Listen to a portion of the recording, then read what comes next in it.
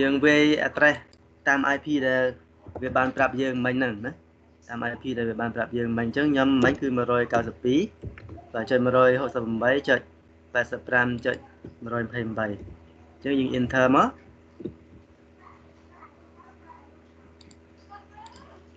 គឺខ្ញុំនិយាយអត់ទាំងអស់គ្នាលើលើលោកគ្រូរូបខ្ញុំសេអត់ឃើញឃើញលោកគ្រូ បាទនេះដែលខ្ញុំធ្លាប់តេស្តពីមុនមកអញ្ចឹងនៅក្នុងនេះបាទយើងអាចបង្កើត project ណាមួយមួយហ្នឹងគឺគេឲ្យឈ្មោះថា project បាទមួយមួយហ្នឹងគឺ project ឬក៏យើងអាច import នេះ project ចាស់ចាស់ដែលខ្ញុំបានធ្វើយើងអាចបើក project នឹងយកមកយកមក project ចាស់ដែលយើងមានបើមិនតែយើងបានធ្វើពីមុនមកយើងអាចបើក project នឹងយកមកដើម្បីតេស្តម្ដងទៀតឬក៏ធ្វើការអនុវត្តម្ដងទៀតបាទចឹងឧទាហរណ៍ថាខ្ញុំបើក project លេខ3ចុះបាទអូអត់ឡើចឹងឧទាហរណ៍ថាខ្ញុំបើក project អឹមចេញណាឧទាហរណ៍ថា project OSPF នេះចុះបាទនេះ project OSPF ចឹងយើងឃើញបាទខ្ញុំឆ្លាញ់ interface វា គឺល្អមែនទែនចឹងយើងអាច design យើងអាច add label យើងអាចដាក់ឈ្មោះយើងអាចធ្វើបានដូចនៅក្នុង Cisco Packet Tracer ចឹងបាទយើងអាចធ្វើបានដូចគ្នាចុះ assign IP អីធ្វើម៉េចលោកគ្រូបាទ assign IP អីគឺ assign ដូចវាជាយើងយើងត្រូវ import device របស់ Cisco Cisco IIS អញ្ចឹងអ្វីអ្វីទាំងអស់គឺដូចគ្នានៅក្នុង Packet Tracer ដែររបៀប configuration របៀបអីគឺជារបស់ Cisco ទេហ្នឹង ណាជារបស់ Cisco គ្រាន់តែនេះគឺតែដូរ simulation ទេបាទអញ្ចឹងហើយខ្ញុំអាចចូលទៅបើកបច្ចេកណាមួយផ្សេងទៀតណាឧទាហរណ៍ថា lab មួយនេះអញ្ចឹងបាទអូខេបាទ lab មួយនេះអញ្ចឹងយើងអាច zoom out zoom in យើងអាចអូសវាទៅនេះទៅនោះបានអ្វីជាពិសេសគឺយើងអាចតេស្តជាមួយនឹងយើងអាចតេស្តជាមួយអ៊ីនធឺណិតដែល share ចេញពីម៉ាស៊ីនពិតយើងបាន នៅក្នុងនេះគឺវាមាន cloud វាមាន cloud ឬក៏ NAT នៅក្នុងហ្នឹងយើងយើងអាចដកយើងអាច add វាចូលមកយើងភ្ជាប់មក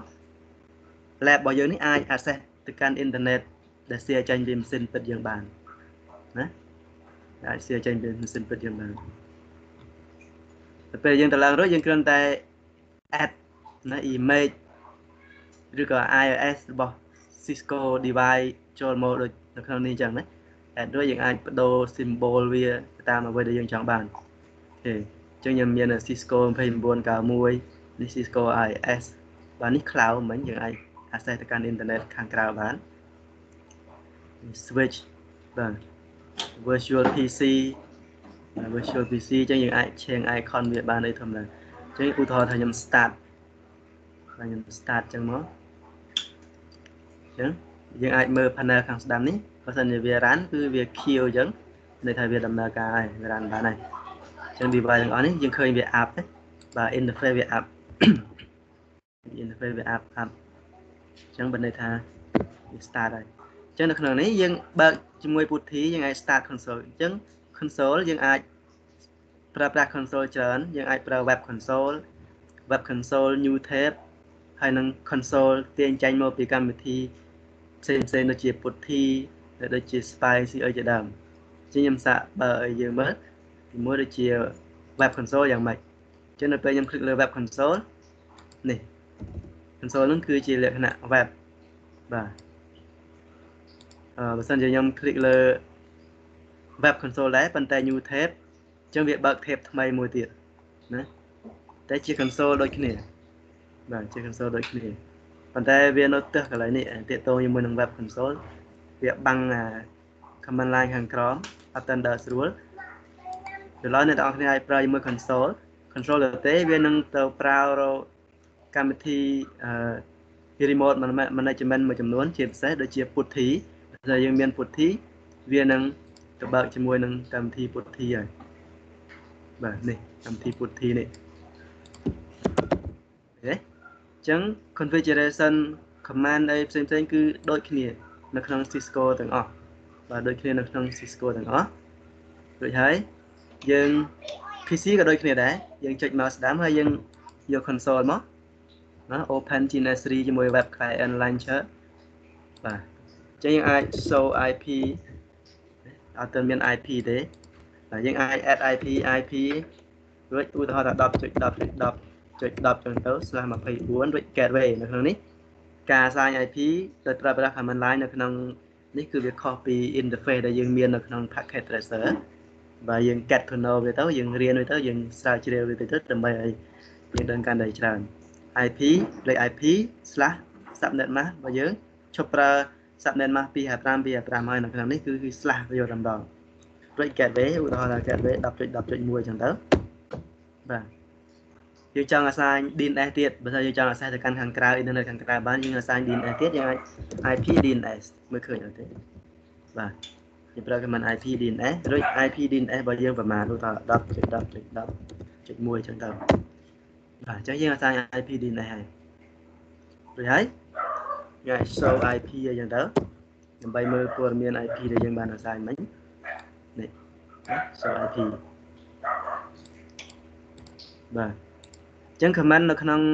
router ក៏ដោយ switch ក៏ដោយគឺដូចគ្នានៅក្នុង packet tracer បាទដូចគ្នានៅក្នុង packet tracer ទេអូខេអញ្ចឹងខ្ញុំអាចបើក router លេខ1នេះវារាំងយូរបន្តិចបើសិនជាយើងអាច assign VMware RAM CPU អីឲ្យកាន់តែធំបន្តិចគឺកាន់តែដើរលឿនបាទកាន់តែដើរលឿនខ្ញុំអាច show running config តែខ្ញុំបានធ្វើអីខ្លះពីមុនមកអញ្ចឹងណាយើងយើងអាចមើល running config ឬក៏ configuration file នៅលើ startup យើងបាន configure អីខ្លះពីមុនមកបាទអញ្ចឹង host name ខ្ញុំ router លេខ1បាទអញ្ចឹងខ្ញុំមាន configure IP name server បាទអញ្ចឹងខ្ញុំមាន assign IP address នៅលើ router ហ្នឹង interface ណាខ្លះអូខេឃើញទេបាទ ចឹងជាពិសេសទៀតគឺយើងអាចណាបើសិនជាយើង configure ត្រឹមត្រូវយើងអាច access ទៅកាន់ internet ខាងក្រៅឧទាហរណ៍ថាខ្ញុំ access ទៅកាន់ google.com ណាតែ reply success មិនមែនបើកជា interface បើកជាអីយើងឃើញទេណាគឺថាយើង test ទៅកាន់ internet គឺដូចយើង ping អញ្ចឹងណាបាទ ping ទៅយើងស្គាល់ទេ success ឬក៏ ping ទៅ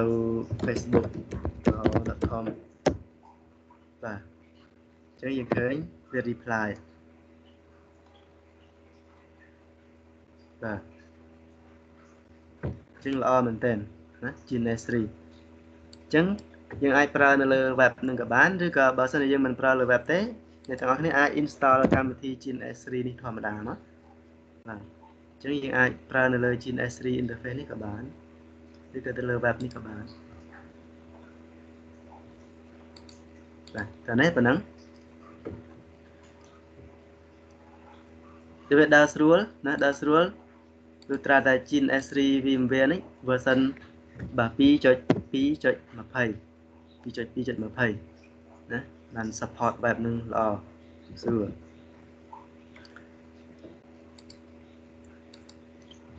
ខេអញ្ចឹងបាទអញ្ចឹងអ្នកទាំងអស់គ្នាអាចសាក download ទៅយកទៅ test ទៅខ្ញុំអាច upload ចូលនៅក្នុង team នេះក៏បានប៉ុន្តែអត់ទាន់បានទេពេលនេះដោយសារអ៊ីនធឺណិតយើងវាមានកំណត់អញ្ចឹងយើងអាច upload ទៀតពេល100 MB ដែរបាទ GNS3 VMware នេះណាបាទ GNS3 VMware នេះណាគឺពេល800 MB ដែរអញ្ចឹងយើង share ពីទូរស័ព្ទអញ្ចឹងវាអត់ទាន់បានទេពេលនេះអូខេអញ្ចឹងយើងតេស្តយើងស្រាវជ្រាវទៅកុំឲ្យយើង ដឹងតែមួយមុខនេះពេកណាចឹងយើងដឹងឲ្យច្រើនទៅទៅពីការល្អណាក្រៅពី packet tracer យើងអាចប្រើប្រាស់ជាមួយនឹង GNSC តាក់ទងជាមួយនឹង simulation lab គឺមានច្រើនក្រៅពីហ្នឹងបើបោះ Cisco ដែលវាលក់តែម្ដងគឺមានដូចជា viral sim CML ណា CML តែហ្នឹងគឺយើងត្រូវទិញវាណា subscribe វាមួយឆ្នាំមួយឆ្នាំប៉ុណ្ណឹងតែ GNSC នេះគឺ free ប៉ុន្តែយើងត្រូវការ image ពី Cisco ដែរ image ជាលក្ខណៈ education ឬក៏ evaluation មាន feature ខ្លះវាអត់ support ដូច real device ទេវាដូចគ្នាសំបីតែនៅក្នុង packet tracer នេះក៏វាមិន support feature ទាំងអស់ដែរណាវាអត់ support feature ទាំងអស់ដែរបាទអត់មានអីអត់មានអីចម្លែកទេរបស់ free គេមិនឲ្យយើងប្រើត្រង់ទាំងអស់ទេប៉ុន្តែសម្រាប់ GNS3 គឺវា support feature ច្រើនជាង Cisco Packet Tracer បាទ support ច្រើនជាងតកតងជាមួយនឹងការ connect ការ connect ការអីក៏មិនខុសគ្នាទេគាត់ថាខ្ញុំទៅបើកទៅចុចទៅចុចនេះចុះបាទខ្ញុំលុប device ទាំងអស់នេះចេញ add ភាសាថ្មីហើយអ្នកទាំងអស់គ្នាមើលអូខេតោះចឹងដើម្បី add ដើម្បី connect device អ្នកអស់គ្នាចូលកន្លែងសញ្ញាបូកនេះមកឃើញ device ទាំងឡាយណាដែលយើងបាន add ចូលវាតែដើម្បី add ឲ្យឲ្យវាមាននៅក្នុងនេះទៀតអ្នកទាំងអស់គ្នាត្រូវអាចអាច add វាតាម new apply n ឬក៏ចូលទៅក្នុង preference របស់វាអញ្ចឹង image Cisco ក៏ដោយស្អីក៏ដោយគឺវាមានទៅតាមប្រភេទរបស់វានៅក្នុងនេះ GNS 3 VM យើងអាចភ្ជាប់ lab របស់យើងជាមួយនឹង VMware នឹងតែម្ដងណា ឧទាហរណ៍យើងដាក់ Windows PC ណាមួយយើងចង់ភ្ជាប់វាជាមួយនឹង VMware នេះតែម្ដងក៏បានដែរ built in built in វាមាន hub switch cloud built ហ្នឹងគឺ built in default វាមានស្រេចតែម្ដងបាទអញ្ចឹងយើងអាច import ចូលប្រភេទ image ជា dynamic ឬក៏ IIS ឬក៏ VP ឬក៏ QEMU នេះបាទអញ្ចឹងភាគច្រើន Cisco គឺនៅក្នុងនៅក្នុងនេះឯងណា QEMU នេះ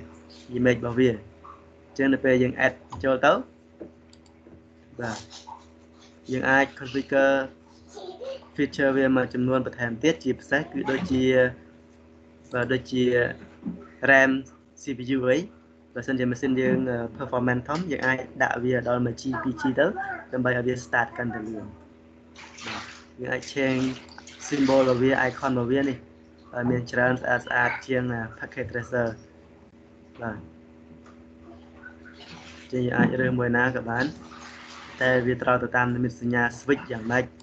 router យ៉ាងម៉េច PC យ៉ាងម៉េច cloud យ៉ាងម៉េចណាចេះតែរើសខាងលើយើងអត់យល់ក៏ដែរតែនៅពេលយើង add ចូលចឹងហើយអ្នកនរគ្នាចង់ add device នឹងចូលក្នុង lab ចង់ភ្ជាប់វាមកចូលនៅក្នុងសញ្ញាបូកនេះមកយើងរើសមកអញ្ចឹងឧទាហរណ៍ថា ខ្ញុំរើស Cisco router 2691បាទឬខ្ញុំរើស switch IOU នេះគឺ switch layer 2បាទឬក៏ខ្ញុំអាច add cloud នឹងបញ្ចូលចឹងមកដើម្បីយើងសេរីស្រង់វាមកនេះ router នេះ switch នេះ internet អូខេអឺ add PC ខ្ញុំ add PC ហប់ បាទ PC ដាក់ PC 2មកថតតែអញ្ចឹងណាបាទនេះខ្សែនេះខ្សែនៅខាងលើនេះបាទកន្លែងរៀងខ្សែកាច់កែងនេះគឺ cable ដែរចឹងយើង click លើវាមកឲ្យវាដិត kill click លើឧបករណ៍យើងមកយើងចង់ add interface មួយណានៅលើ router នេះទៅថា fast zone 0ជាប់មកកាន់ switch switch យើងរើស interface ដូចគ្នាដែរមក ហើយយើងចង់ប្រើ interface មួយណា ethernet zone លើ zone បាទ click លើវាទៀតមក0លើ1មកកាន់ PC 1បាទ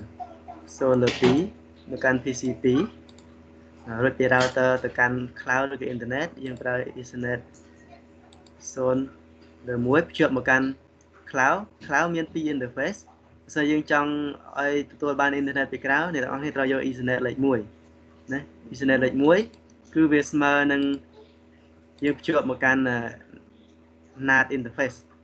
អញ្ចឹងនៅលើ VMware Genesis 3 VMware នេះគឺវាមាន interface 2ណា interface 2មួយគឺ adapter 0ឬ host only ណាហើយមួយទៀតគឺ adapter លេខ2នឹងគឺសម្រាប់ NAT NAT ហ្នឹងគឺដើម្បីឲ្យ GNS 3 របស់យើងអាច access កាន់ទៅខាងក្រៅបានណា access ទៅកាន់ខាងក្រៅគឺដូចជា access ទៅកាន់ internet access ទៅកាន់ម៉ាស៊ីនពិតយើងបានដែរ បើសិនជា host only នេះគឺវាបានតែនៅក្នុង lab ទេនៅក្នុងម៉ាស៊ីនរបស់យើងទេអាចអាច access ទៅកាន់ក្រៅទេអញ្ចឹងបានខ្ញុំថាបើសិនជាអ្នកទាំងអស់គ្នាចង់ឲ្យ access ទៅខាងក្រៅបានត្រូវយក Ethernet បាទត្រូវយក Ethernet លេខ1ណាកុំយក Ethernet 0បាទអញ្ចឹងយើង add រួចហើយអញ្ចឹងទៅយើងអាច power យើងអាច power ម្ដងមួយម្ដងមួយក៏បាន click លើវា start ណា click លើវា start ហ្នឹងគឺយើង power វាឬក៏យើងចង់ power ទាំងអស់យើងអាចចុចលើសញ្ញាសញ្ញា play នេះបាទបើ media អីយើងថា play បើយើងចុចលើសញ្ញា play ហ្នឹងមកវានឹង start ហើយបាទឬក៏យើងអាចមើល status វានៅ panel ខាងស្ដាំខាងលើនេះណា click លើវាមកឧបករណ៍យើងមានអីខ្លះបើវា down គឺវាក្រហមបើវា up គឺវាឡើង green អញ្ចឹង បាទបើ up គឺឡើង green អញ្ចឹង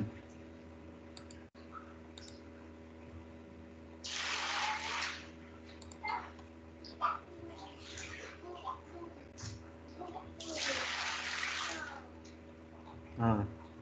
record ទៅខ្ញុំអត់បាន record គឺយើងអាច record បានតា record ហើយលោកគ្រូចុចហើយបាទបាទតោះអញ្ចឹងអញ្ចឹងយើងមើល basic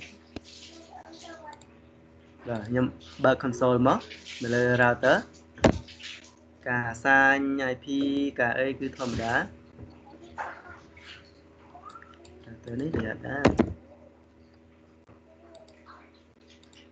ច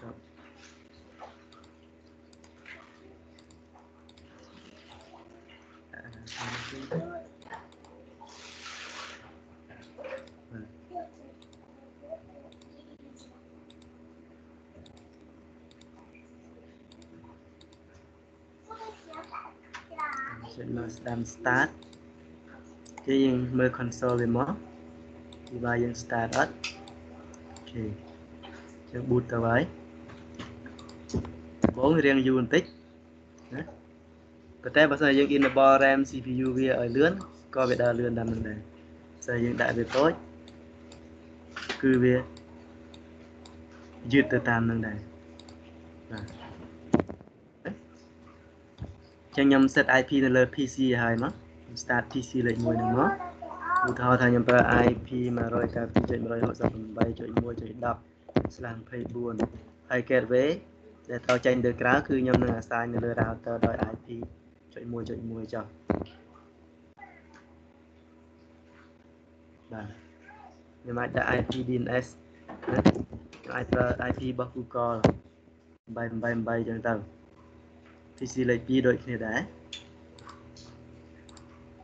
បាទចឹងខ្ញុំអាសាញ IP មើលឃើញអត់បាទ IP 192.168.1.20ចុះស្លាស់24ដូចហើយ gateway IP របស់ router ខ្ញុំនឹង assign 1.1.1អូខេអញ្ចឹង IP DNS ដូចគ្នាដែរខ្ញុំអាចប្រើ ប្រើបោះ router យើងក៏បាន8.8ចាអញ្ចឹងដើម្បីមើលព័ត៌មាន IP យើងអាចប្រើ IP config ទេណាគឺយើង show IP នេះ IP machine បាទ gateway DNS MAC address អូខេជិះយើង back ទៅមើល router យើង start ហើយណូ start ហើយអញ្ចឹងដើម្បីឲ្យយើងអាច access ទៅកាន់ internet បាន interface ដែលភ្ជាប់ទៅកាន់ cloud នេះគឺយើងឲ្យវាចាប់ IP DHCP ពី cloud នឹងមកណាចាប់ IP DHCP ដែលបោះចេញពី cloud នឹងមកអញ្ចឹងយើងឲ្យវាចាប់យ៉ាងម៉េចណានៅរៀនឆមាសមុនទៅជាមួយនឹងការ configure DHCP client យើងចូលទៅក្នុង interface នឹងទៅ interface ខ្ញុំគឺ gigabit 0.0ដែលភ្ជាប់ទៅកាន់ cloud អញ្ចឹងខ្ញុំ0.0 IP address បាទ DHCP no shutdown ណា អញ្ចឹងបានន័យថា interface gigabit 0.0នេះគឺវានឹងភ្ជាប់ទៅកាន់បើវានឹងទទួលបាន IP ពី DHCP server បាទអញ្ចឹងយើងនៅ shutdown ហើយ interface វា change ទៅ app ហើយរួច interface ដែលភ្ជាប់មកកាន់ LAN របស់យើងយើង configure ធម្មតាមក interface gigabit 0លើ1 IP address ខ្ញុំនឹងដាក់112 168.1.1 subnet mask 255 255.0បាទ no shutdown អូខេ យើងត្រូវ configure យើងចង់ access internet បានយើងអាចប្រើ command IP domain lookup ដើម្បីឲ្យយើងអាច look up តាមឈ្មោះបាន IP name server យើងចង់ប្រើ name server ណា8.8.8 IP DNS name server អាហ្នឹងគួរតែអាច ping ទៅកាន់អ៊ីនធឺណិតខាងក្រៅបានហើយពី router នេះឃើញទេ success បាទ success អញ្ចឹង router យើងអាច access ទៅកាន់អ៊ីនធឺណិត client យើងដែលភ្ជាប់ទៅកាន់ router នេះយើង configure gateway ត្រឹមត្រូវបាទ DNS ត្រឹមត្រូវក៏អាច access ទៅបានដែរដោយសារ network យើងអត់មានឆ្លងអីច្រើនទេបើសិនជាមាន network ច្រើនផ្សេងគ្នាអាហ្នឹងបានយើងធ្វើ route ដែលយើងរៀនពីមេរៀនមុនហ្នឹងអូខេ google.com ដូចគ្នាបាទ reply ណាលើ PC ក៏ access អ៊ីនធឺណិតបានដូចគ្នាបាទ អញ្ចឹងវាមានប្រយោជន៍ដល់មេរៀនទៅមុខទៅមុខទៀតយើងអាចធ្វើ ACL access control list filter អីចឹង filter បិទអ៊ីនធឺណិតបិទ website បិទអីនេះណាមួយចឹងស្រួលណាយើងអាច test lab នឹងបានអូខេមិនដែរតែយល់ថាល្អអាចសាកល្បងតេស្តបើមានបញ្ហាអីទាក់ទងជាមួយនឹងការ add image add អីអាច អឺសួរខ្ញុំបើ download GNS3 VMware នឹងឲ្យបានអីក៏អាចប្រាប់ខ្ញុំខ្ញុំអាច share ប៉ុន្តែយើងមានអ៊ីនធឺណិតយើងមាន limit ចឹងយើងអត់អាចទៅដាក់នៅលើអ៊ីនធឺណិតឥឡូវនេះបានទេអូខេណាចឹងខ្ញុំ ចឹងយើងនឹងមាន lab ខ្ញុំនឹងឲ្យយើងធ្វើ lab អាយ៉ា project ដូចជា lab lab rip ណា rip version 2ដែលយើងរៀនរួចហើយអញ្ចឹងខ្ញុំនឹងឲ្យគ្នាយើងតែខ្ញុំដូចជាធ្លាប់ឲ្យហើយក៏មិនទេបាទអញ្ចឹងនេះ configure rip network ទាំងអស់នេះហើយធ្វើម៉េចឲ្យ network ទាំងអស់ហ្នឹងអាច access ទៅកាន់អ៊ីនធឺណិតបាននឹងមួយណាដល់ពេលយើងចូលដល់មេរៀន OSPF OSPF យើងរៀនរួចហើយដែរបាទ OSPF version 2 v2 ក៏យើងត្រូវ configure OSPF ហើយធ្វើម៉េចឲ្យ network ទាំងអស់នេះអាច access ទៅកាន់អ៊ីនធឺណិតបានបាទអញ្ចឹងខ្ញុំបានសុំ group list ទីធានថ្នាក់យើងហើយចាំនៅពេលគាត់បានខ្ញុំនឹងឲ្យយើងធ្វើកិច្ចការស្រាវជ្រាវនឹងណាស្រាវជ្រាវនឹង មិនឲ្យ access ទៅកាន់អ៊ីនធឺណិតបានបាទខ្ញុំនឹង design lab ទៅតាមក្រុមរបស់យើងមួយមួយហ្នឹងបាទតាំងពីមេរៀន static row rip OSPF EIGRP ដល់អីទៀតអូខេបើដែរប៉ុណ្ណឹងកាត់ឈឹងលោកគ្រូថាម៉េចគំមើលទៅល្ងិតឈឹងហ្មងលោកគ្រូ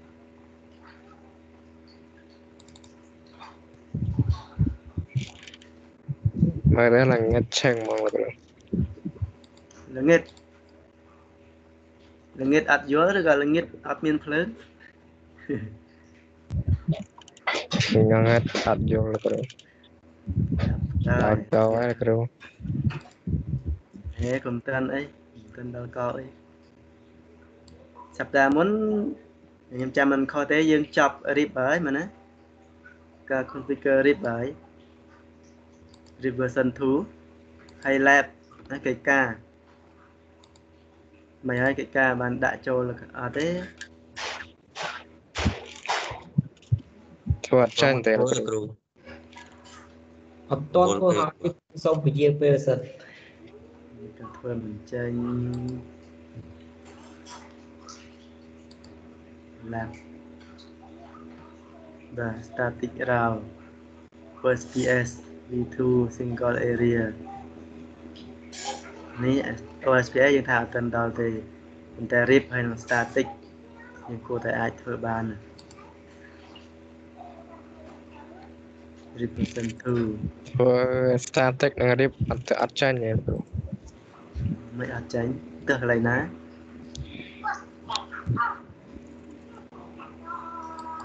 ស្រាវជ្រាវណា អូនេះខ្ញុំដាក់រូបនេះបាទរូបពី China ស្រីនេះ static configure static ធ្វើម៉េចឲ្យវាស្គាល់ network នៅក្នុងនឹងទាំងអស់ហើយអាច access ទៅកាន់ internet បានបាទអាច access ទៅកាន់ internet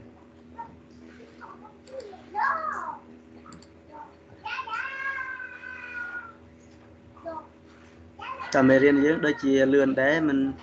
ជាយឺតទេខ្ញុំ តែតិនចង់ទៅមេរៀនបន្តទៀតសោះចង់ឲ្យគ្នាយើងធ្វើ lab នឹងបណ្ដោយមក session មិនដែរ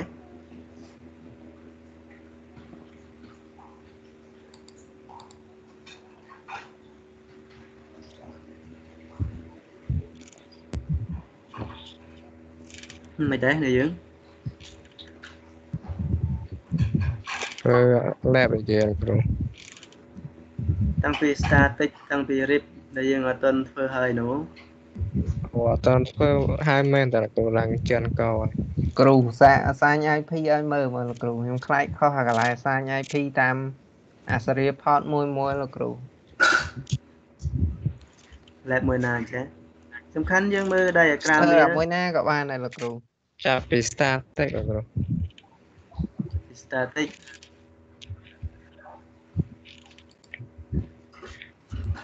ខ្ញុំធ្វើលើនេះចុះ static row អេនេះគឺជា lab static row ខ្ញុំ start device ទាំងអស់ហ្នឹងមកផ្លឹបផ្លឹបផ្លឹបផ្លឹបអាប់អស់ហើយបាទអញ្ចឹងមាន diagram មានប្រាប់ IP ណា network ណាអីអស់ហើយយើងមើល មែនទេ PC នេះ IP ប៉ុណ្ណេះបាទ PC នេះ IP ប៉ុណ្ណេះយើងគិតថាប៉ុណ្ណេះឥឡូវថា router លេខ1មាន3 connection មួយទៅកាន់ internet មួយមកកាន់ router លេខ2មួយទៀតមកកាន់ router លេខ3អញ្ចឹង router លេខ1ភ្ជាប់មកកាន់ router លេខ2តាមរយៈ IP 10.10.10 ណា10.10 0/24អញ្ចឹងជាទូទៅអ្នកទាំងអស់គ្នាត្រូវចាំណាចំពោះខ្ញុំណាចំពោះខ្ញុំ IP ខ្ញុំដាក់នេះគឺជាមួយ subnet មួយ subnet ណា10.10.10.0/24អញ្ចឹងសួរថាតើ router ណាដាក់ IP លេខប្រមាណឬក៏ router 1ដាក់ IP លេខប្រមាណ router 2ដាក់ដាក់ IP លេខប្រមាណបើសម្រាប់ខ្ញុំ ខ្ញុំចូលចិត្តដាក់ IP ឲ្យត្រូវតាមលេខ router បើ router លេខ1ខ្ញុំនឹងប្រើ IP លេខ1បើ router លេខ2ខ្ញុំនឹងប្រើ IP លេខ2អញ្ចឹងណាបាទអញ្ចឹងបើន័យថា10.10.10.1នៅលើ router លេខ1 10.10.10.2ណានៅលើ interface router លេខ2ខណៈដូចគ្នាដែរ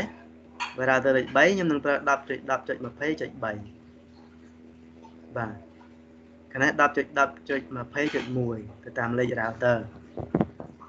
ស្រួលតែអ្នកនរគ្នាអាចដាក់មិនក៏ដាក់ទៅតែសំខាន់ឲ្យតែចាំខ្លួនយើងហើយនៅពេលដែល client នេះដែលត្រូវការ access ចេញមកក្រៅគឺត្រូវមាន gateway តែ gateway ហ្នឹងហើយគឺជា IP របស់ router ហ្នឹងឯងណា IP នៅលើ router យើងដាក់ចុច2ដល់ពេល configure gateway ឲ្យ client ដាក់ចុច50អីចឹងទៅវាចេញមិនរួច បាទចេញទៅតាមណាបើ IP ហ្នឹងអត់មាននៅលើ router ផងតើអញ្ចឹងខ្ញុំមើល configuration នៅលើ router លេខ1មុនគេ start console អូខេ console router លេខ1ភ្ជាប់មកកាន់ router លេខ2តាមរយៈ IP 10.10.10.1អឺ យើងខ្លាច assign IP ខុសយើងអត់ត្រូវខ្លាចចឹងទេសំខាន់យើងមើល label វាឲ្យច្បាស់មិនថានៅក្នុង Genesis ឬក៏ packet tracer ទេដូចតែគ្នានោះណាយើង show label វាវាបង្ហាញយើងច្បាស់ច្បាស់អញ្ចឹងខ្ញុំអាច show running config ណាខ្ញុំមាន configuration អីខ្លះចាស់ចាស់ហ្នឹងរីកធំហ្មងឬក៏អាចពង្រីក size នេះឲ្យធំ picture appearance font 4អីមើលអូខេអញ្ចឹងខ្ញុំ configure ឲ្យខ្លះបាទ configure name server វាដូចជាបង្ហាញហើយតោះនេះខ្ញុំ configure static route អញ្ចឹងខ្ញុំអាចលុបចេញ IP នេះខ្ញុំបង្សាញ IP អញ្ចឹងខ្ញុំអាចបាទ លុប configuration ទាំងអស់តែម្ដងដើម្បីកុំឲ្យយើងវល់អញ្ចឹងយើងធ្វើម៉េច try erase បាទ confirm មករួច reload អូ process reload yes អូខេតោះនៅ router លេខ1ចាស់ router លេខ2យើងធ្វើដូចគ្នាដែរខ្ញុំចូលទៅលុប configuration ហ្នឹងណា អត់ទាន់មានអីកុំទាន់វល់ណា try erase អូខេបាទ reload ទៅលេខ3ដូចគ្នាដែរ start console វាមកបាទហើយ erase គ្រូ load បាទ ធ្វើម៉េចក៏យើងប្រើ GNS3 នឹងវិញគ្រូហើយប្រើមួយណាក៏បានប្រើ Cisco ក៏បានដែរគ្រូបាទបាទបាទលោកគ្រូអា GNS3 នឹងមុនមានបញ្ហាគ្រូតឡើងវាត្រឹមត្រូវតែតឡើងអត់ត្រឹមត្រូវវាមានបញ្ហាយើង configure វាត្រឹមត្រូវបើយើង configure វាត្រឹមត្រូវគឺស្រួលចឹងបាទ អញ្ចឹងយើងអាចតេស្តទៅកាន់អ៊ីនធឺណិតទៅកាន់អីបានអញ្ចឹងខ្ញុំ reload ហើយប៉ុន្តែនៅលើ router លេខ2និងលេខ3អត់ទាន់ start start អត់ទាន់ហើយ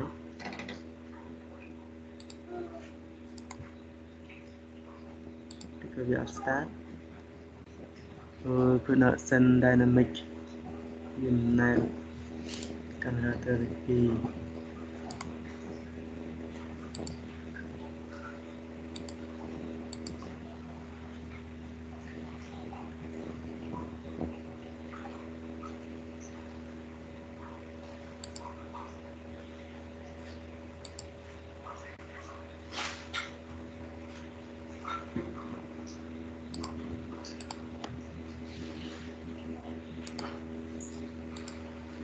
Delay.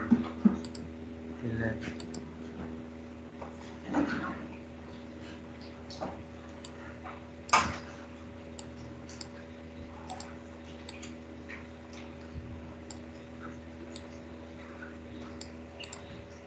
Dah បើយើង configure វាត្រឹមត្រូវប្រើស្រួលទេបើយើង configure វាអត់ត្រូវវាប្រើពិបាក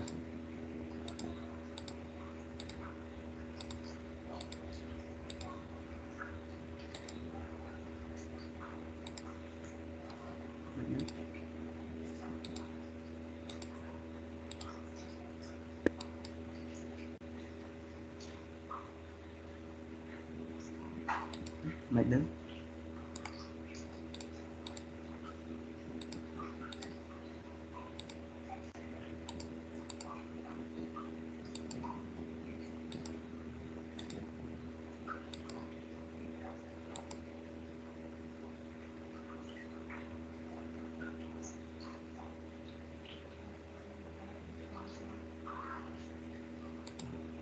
all the things.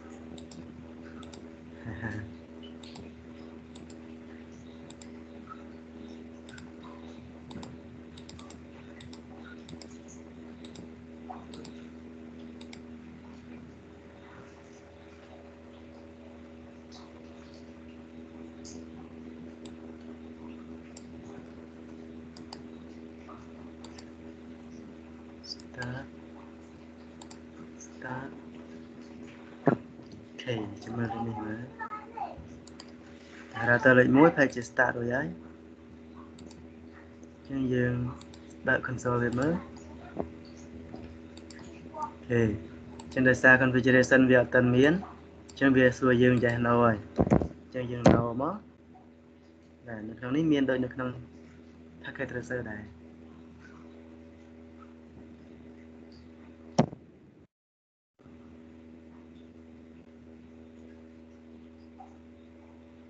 អូខេ អូខេ basic configuration បែបនិយាយទេបដូរ hostname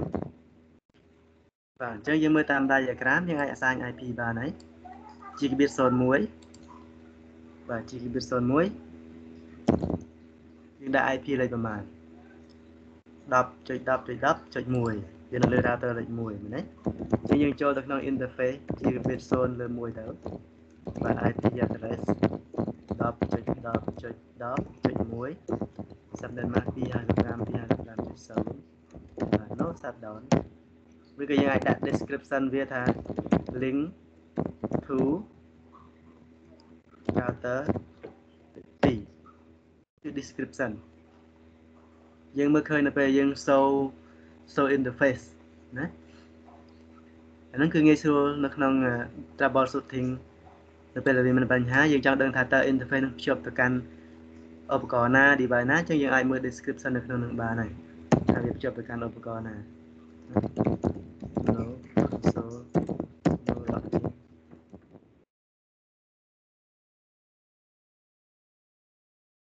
តោះអញ្ចឹង interface លេខ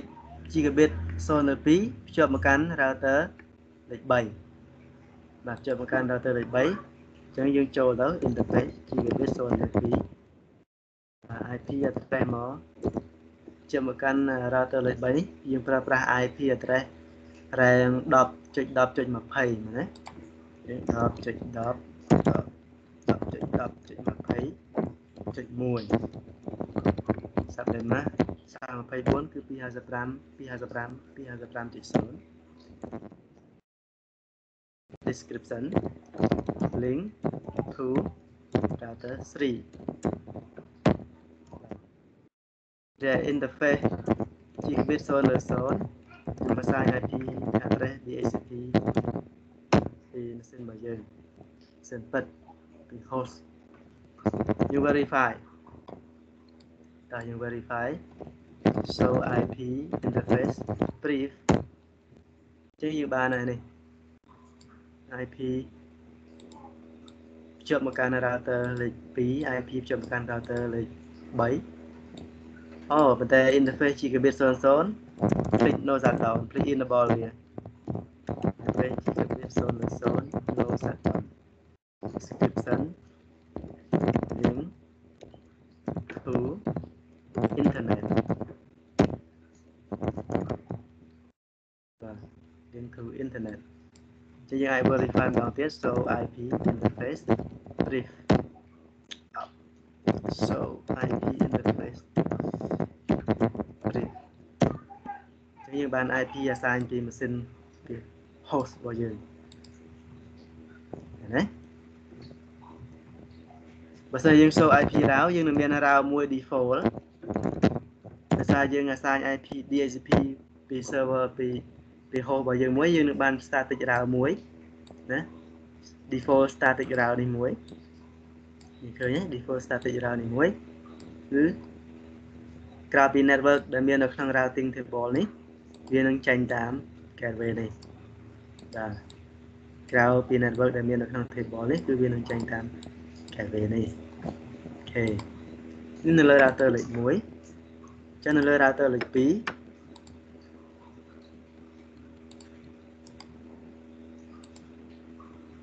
ដាក់ថា apply នេះខ្ញុំដាក់ថា R3 apply បាទចឹងខ្ញុំបដូរ label នៅលើនេះណាដែលយើងមើលឃើញនេះណាតោះចឹងខ្ញុំបើកបែបបើក console អូខេតោះយើងចូលទៅនេះនៅលើ router លេខ2អូខេអញ្ចឹងនៅលើ router លេខ2យើងត្រូវធ្វើអីខ្លះចឹងខ្ញុំបដូរ hostname សិនដាក់ R2 បាទ interface ណាខ្លះភ្ជាប់ទៅណា នៅលើ router លេខ2 gigabit 00ភ្ជាប់ទៅកាន់ router លេខ1ចឹងយើងចូលមក interface gigabit 0/0ណា no shutdown មុនក៏បានបាន IP address ចឹង range របស់វាគឺ10.10.10ដោយសារវាជា router លេខ2ចឹងខ្ញុំប្រើលេខ IP លេខ2ណា10.10.10.2 subnet mask គឺធម្មតា255បាទរួច interface មួយ បាត់អា login ធ្វើឲ្យវារំខានយើងនេះអា message load ព្រែកព្រែកព្រែករំខានយើងទៅយើងវាយ comment ហ្នឹងណាតោះអញ្ចឹង interface gigabit 0លើ1ជាប់មកកាន់ LAN network របស់យើង គឺ rang 10.10.30មែនណាយើងចូលមក interface gigabit 0លើ1 no shutdown IP address 10.10.30ដោយសារវា router លេខ2ខ្ញុំប្រើ IP លេខ2ណា30.2 55.255.255.0បាទខ្ញុំអាចដាក់ថា description link to switch 1ចឹងយើងមើលឃើញនៅពេលណាអត់មានតែចង់សួរមែនត្រឹម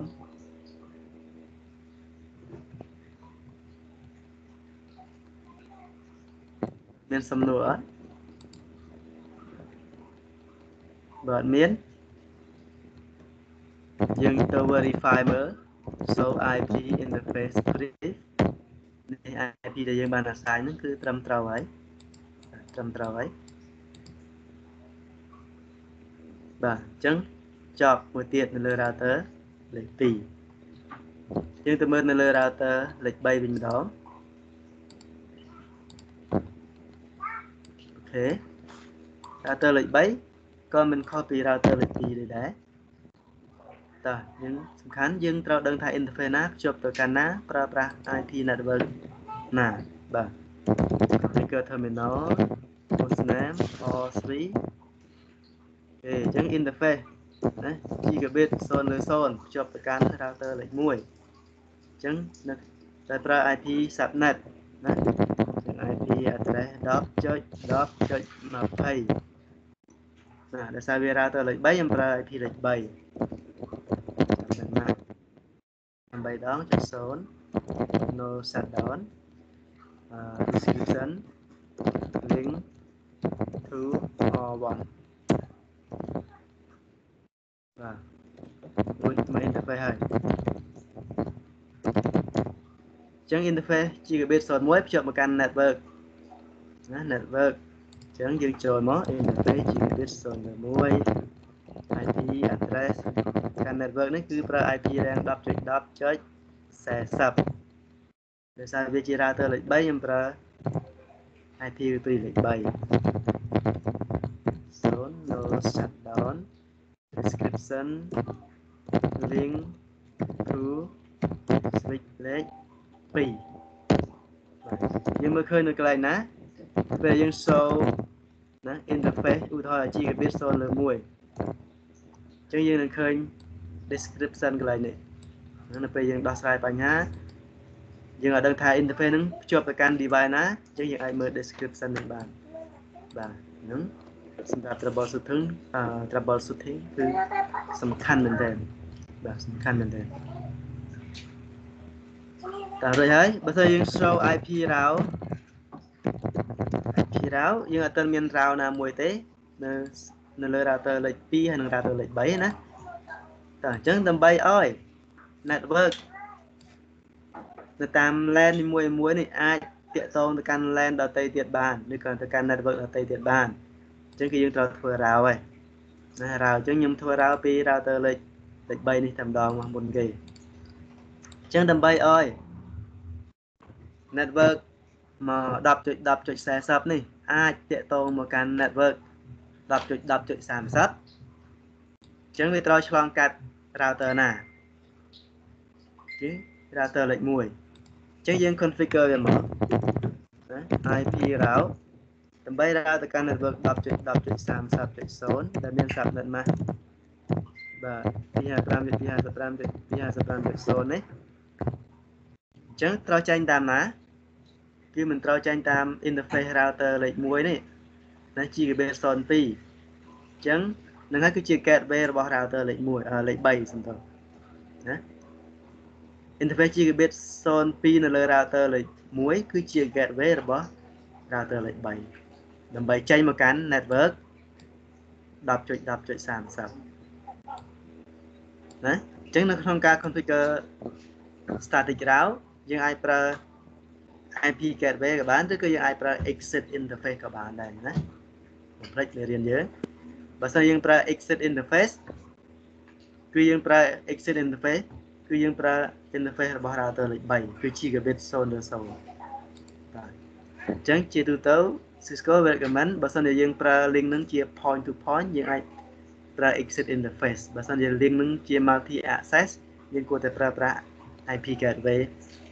offline ចឹង IP របស់ router លេខ1គឺ10.10.20.1បាទគឺចេញតាមនឹងណាដើម្បីមកកាន់ network 10.10.30គឺយើងត្រូវចេញតាមនឹងដើម្បីមកកាន់ network 10.10.10នេះក៏ត្រូវចេញតាមនឹងអញ្ចឹងដើម្បីឲ្យអាចមកសេះមកដល់10.30បានគឺត្រូវតែវាឆ្លងកាត់10.10នេះសិនដែរបាទ10.10នេះដែរ បើយើងមិនឆ្លងកាត់យើងមិនឲ្យវាស្គាល់ក៏បានប៉ុន្តែ router គឺវានឹង forward មកឲ្យយើងដូចគ្នាដែរណាអញ្ចឹងយើង add ឲ្យហើយទៅដើម្បីរកទៅកាន់ network 10.10.10.0ដែលមានសម្រាប់មក255.255.0ក៏ត្រូវចេញតាម gateway ដូចគ្នានេះដែរចេញតាម gateway 10.10.20.1នេះដូចគ្នាដែរអញ្ចឹងយើងបាន so IP route static យើងមើលតែ static មកអញ្ចឹងយើងបាន2 static ដែលយើងបាន2 static static route តើណាបាទហើយនៅលើ router លេខ3ប៉ុណ្ណឹង client PC ខាងនេះអាចតាក់ទងមកដល់ network 10.10.30ហើយប៉ុន្តែទៅពេលដែល router លេខ2បញ្ជូន message នឹងត្រឡប់ទៅវិញទៅរកអត់ឃើញទេណាហើយបានទៅរកអត់ឃើញដោយសារនៅលើ router លេខ2នេះអត់ទាន់មាន route ទៅកាន់ network ណាទេជឿយើងអាចចែកនេះណា so IP route ចេះអត់ទាន់មាន route ទៅណាមួយទេអញ្ចឹងគឺយើងត្រូវធ្វើ route ដូចគ្នាដែរអញ្ចឹង IP route ទៅកាន់ network ណាខ្លះ10.10.40.0តែមក255 255.0 ចេញតាម gateway ណាគឺតាម gateway ដែល router លេខ2នេះភ្ជាប់ជាមួយនឹង router លេខ1គឺចេញតាម10.10.10.1 interface នៅលើ router លេខ1នេះតោះចេះយើងបានចេញតាម10.10.10.1អូ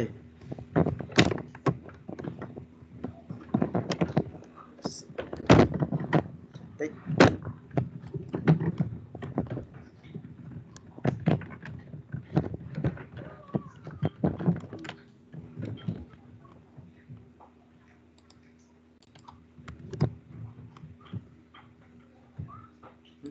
ទៀតនេះ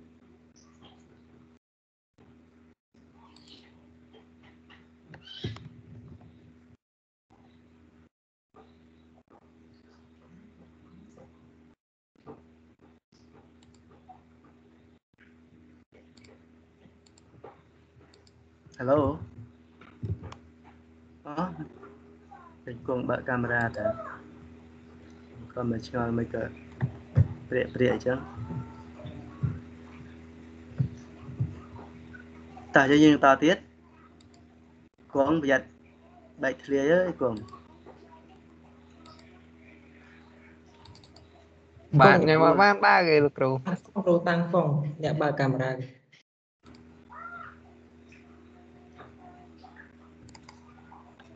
ប្រហែលជាក្មួយយកលេខច្រឡំច្រឡំច្រឡំទេ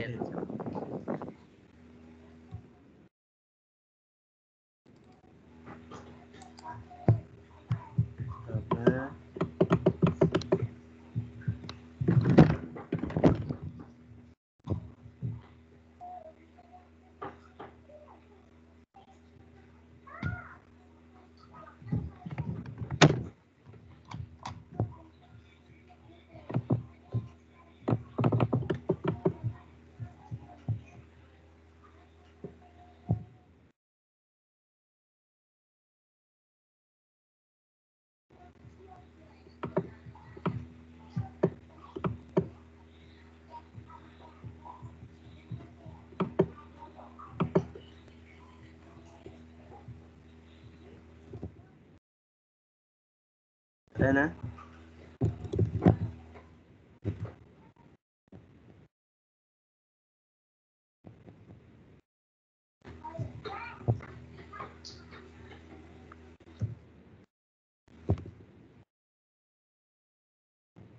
មើលជាប់ cursor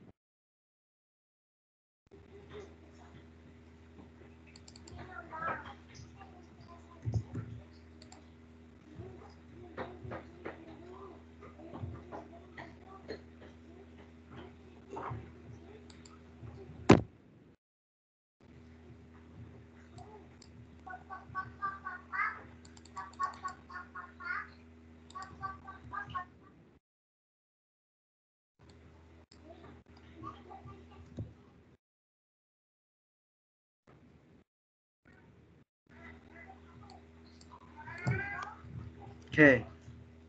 តោះមិនយើងដល់ router លេខ2ណា router លេខ2យើង add បានមក route ហើយគឺមកកាន់ destination ដែលមាន IP 10.10.40អញ្ចឹងគឺបានន័យថា network ខាងនេះណាប៉ុន្តែវាត្រូវឆ្លងកាត់ network 10.10.20នេះដែរណាអញ្ចឹងយើង add វាហើយមកអញ្ចឹង IP route ទៀត10.10.20.0 បាទ subnet mask 255.255.0 ចេញតាមផ្លូវតែមួយបើសិនជាយើងមានផ្លូវផ្សេងគឺយើងអាចដាក់ gateway ផ្សេងនឹងបានដូចគ្នាបាទជាយើងអាច show IP route static ជាយើងបាន static route 2ណាឆ្ពោះទៅកាន់ network 10.10.20ហើយនិង10.10.40ជាយើងអាច ping បានហើយណានៅលើ router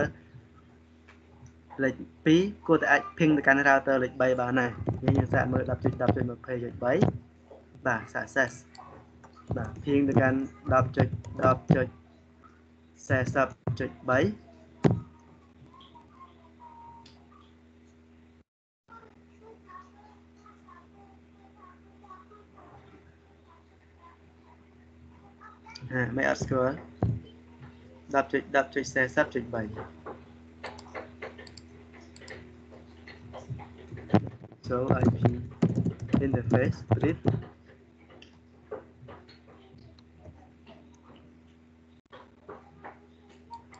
អូយើងទៅមើលនៅលើ router លេខ1មើល router លេខ1យើងមិញ configure ខ្លះ so IP route អូនៅ router លេខ1អត់ទាន់បាន configure static route ដែរអញ្ចឹងទៅមិនរួចបើមកដល់ត្រឹម router លេខ1នេះ router លេខ1មិនដឹងបោះទៅណាផង មិនដឹងឯណា network 10.40ផងមិនដឹងឯណា network 10.30ផងណាយើងមើលអត់មាន network 10.30អត់មាន network 10.40ទេអញ្ចឹងយើងភ្លេចយើងភ្លេចធ្វើនៅលើ router លេខ1នេះបាទដូចគ្នាដែរអញ្ចឹងនៅលើ router លេខ1ដើម្បីមកកាន់ network 10.10.30ត្រូវចែងតាមផ្លូវណាគឺយើង IP route មក10.10.30.0 slash 255 0ចេញតាមផ្លូវណា router លេខ1នេះគឺមិនត្រូវចេញតាម interface gigabit 00របស់ router លេខ2ណាអញ្ចឹង interface ហ្នឹង IP លេខប្រមាណគឺ10.10.10.2បាទហើយមួយទៅពេលដែល router លេខ1នេះចង់ access មកកាន់ network 10.10.40អញ្ចឹងយើង add មួយទៀតមក 10.10. 10.40.0ចែងតាមណាវិញគឺត្រូវចែងតាម interface gigabit 00របស់ router លេខ3ណាអញ្ចឹងមាន IP ប្រហែល interface ហ្នឹងគឺ10.10.20ចុច3ចឹងលើកនេះ router លេខ2មិញគាត់តែអាច king មកស្គាល់ហើយបាទឃើញទេ reply ដើម្បីឲ្យ client ស្គាល់គ្នាបានគឺយើងត្រូវ configure ណា IP នៅលើ client ហ្នឹងមិនក៏ទូចមែន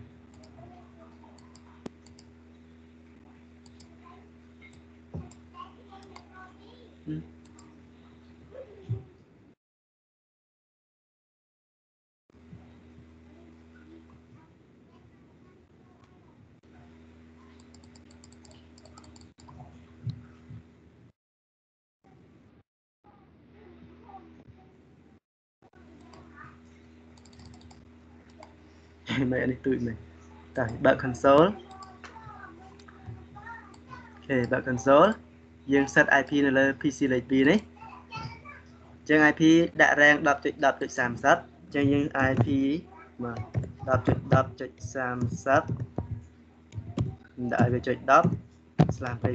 24 gateway gateway របស់ client នេះគឺជា IP address របស់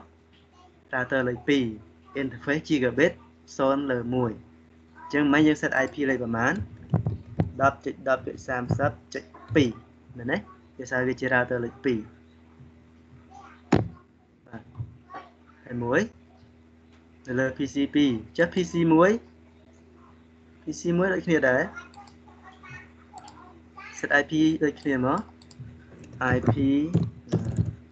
IP 10.10.30.20/24 ចេញតាម10.10.30.2 PC នេះបើសិនយើងចង់ឲ្យ configuration វានៅជាប់ពេលដែលយើង start ថ្ងៃក្រោយមកអ្នកទាំងអស់គ្នាអាច save បើសិនយើងអត់ save ទេពេលដែលយើងបើកថ្ងៃក្រោយវានឹងបាត់អស់ណា configuration របស់វាបាត់អស់យើងអាច save អូខេនៅលើ PC network ខាង10.10.40នេះដូចគ្នាដែរយើង set IP ដូចគ្នាដែរណាញាក់ show IP មកមានហើយនៅអត់ទាន់មានទេជាយើង set មក IP 10.10.40.10/24ចេញតាមណាដើម្បីអាស្រ័យមកកាន់ network ខាងក្រៅរបស់ PC3 នេះគឺត្រូវចេញតាម IP address របស់ router លេខ3 interface gigabit 0លើ1អញ្ចឹង interface ហ្នឹងយើង assign IP លេខប្រមាណគឺ10.10.40.3 ណាបាទទៅលើ PC 3 PC 4ដូចគ្នាដែរ save សិន PC 4ដូចគ្នាដែរ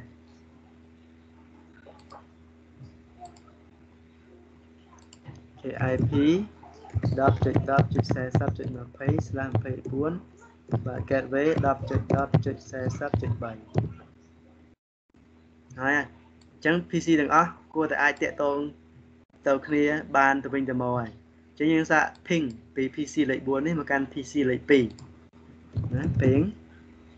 កាន់ IP 10.10.30.10បានន័យថាជា IP address របស់ PC លេខ2តោះបាទ reply ទៅទៅវិញ PC លេខ2ក៏គួរតែអាចតាក់ទងទៅបាន any PC នៅខាង network ខាងនេះឧទាហរណ៍សាកតាក់ទងមកកាន់ PC លេខ3 ណាចេញសាក់ពីង10.10.40.10បាទ reply ដូចគ្នាចឹងអាចតាក់ទងគ្នាបានទៅវិញទៅមកហើយបាទប៉ុន្តែ PC ទាំងអស់ហ្នឹងអាចតាក់ទងទៅកាន់អ៊ីនធឺណិតបានអត់ google.com cannot restore អត់មាន DNS ទេបាទអត់មាន DNS ទេអញ្ចឹង assign IP DNS វា DNS 10.10.58888ប៉ុន្តែយើងអាស្រ័យ IP DNS ហើយតើអាច ping ទៅកាន់អ៊ីនធឺណិតបានអត់នៅតែអត់ទាន់បានទេណាអត់ទាន់បានទៀតអញ្ចឹងធ្វើម៉េចមិនដើម្បីឲ្យ PC 3 PC 4ក៏ដូចជា PC 2 PC 1នេះអាច access ទៅកាន់អ៊ីនធឺណិតបានអញ្ចឹងយើងមើលមើលនៅលើ router ហ្នឹងតើមាន route ណាដែលអាចចេញទៅក្រៅ network នឹងបានអត់ so IP route ចឹងយើងមើលទាំងអស់គ្នាបាទ static route នេះចេញទៅកាន់ network 10.10.10 static route នេះចេញទៅកាន់ network 10.10.30ចឹងអត់មានទៅកាន់ network ទៅកាន់ IP របស់ Google Facebook អីទេចឹងយើងធ្វើម៉េចយើងត្រូវ add default static route មួយទៀតណា default static route default static route any បានន័យថាទៅកាន់ any network ក្រៅពី network ទាំងពីរនេះតែយើងចង់ឲ្យវាចេញទៅតាមផ្លូវណាបាទជាក់ស្ដែង default static route ដោយសារ router 3យើងភ្ជាប់ទៅកាន់តែ router មួយទេអត់មានភ្ជាប់ទៅកាន់ router ណាមួយផ្សេងទៀតទេអញ្ចឹងដើម្បីចេញទៅកាន់អ៊ីនធឺណិតក៏ត្រូវចេញតាមផ្លូវនឹងដូចគ្នាដែរណាចេញតាមផ្លូវនឹងដូចគ្នាដែរអញ្ចឹងយើង config មកណា IP route ដើម្បី configure default static បាទទៅមើលមេរៀន គឺយើង IP route ចុច0.0.0ទាំងអស់ណា subnet mask ក៏ចុច0រួចចេញតាម gateway ណា10.10.20.1បាទចឹងយើងអាច show IP route មួយតែ static បានហើយចឹងយើងបាន static ធម្មតាហើយនឹង default static ណាប៉ុណ្ណឹង network នៅខាង router លេខ3នេះគួរតែអាច access ទៅកាន់ internet បានហើយជើយើងសាកមើល PC លេខ4មិនយើងតេស្តនៅលើ PC លេខ3អោះអត់មែនណា PC លេខ4 PC លេខ3តោះជើយើងតេស្ត PC លេខ4ខ្ញុំមកសាយ DNS មិញនៅលើ PC ណាអត់មែននៅលើ PC នេះផង so IP អូខេ PC លេខ4នេះអត់មាន DNS ទេអញ្ចឹង IP DNS 3យើង3យើង3យើង3តោះ ping google.com reply បាទ reply PC លេខ3ខាងនេះក៏ដូចគ្នាដែរយើងគ្រាន់តែ assign IP DNS មកគឺអាច access ទៅកាន់ internet ខាងក្រៅបានដែរប៉ុន្តែនៅខាង network ខាង router លេខ2នេះអត់ទាន់អាច access ទៅកាន់ internet បានទេបាទអញ្ចឹងដោយសារនៅលើ router លេខ2របស់យើងនេះអត់ទាន់មាន default static route ទៅកាន់ network ខាងក្រៅទេអញ្ចឹងយើងអាច set ដូចគ្នាដែរនៅលើ router លេខ2នេះបាទយើង config ដូចគ្នាដែរ IP route 0.0.0 subnet mask ក៏0.0.0ចេញតាម10.10.10.1ចឹងយើងសាកតេស្តនៅលើ PC មក លើនេះគួរតែអាច ping ទៅកាន់ YouTube ដង youtube.com ហើយនេះ reply បាទ reply បាទអញ្ចឹងការ configure static route គឺប៉ុណ្ណឹងបាទប៉ុណ្ណឹងខ្ញុំ save configuration file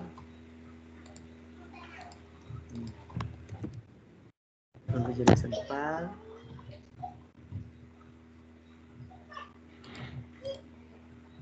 តោះមិនដែរគួងតើសាកសិនលោកគ្រូ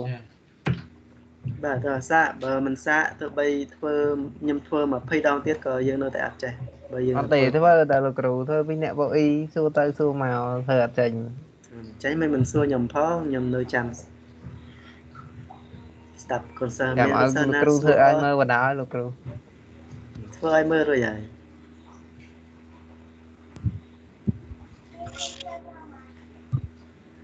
អឺលោកគ្រូផ្ទះលោកគ្រូដាច់ Wi-Fi មែនលោកគ្រូតែខ្ញុំណាអត់ផងអឺមិនដែរ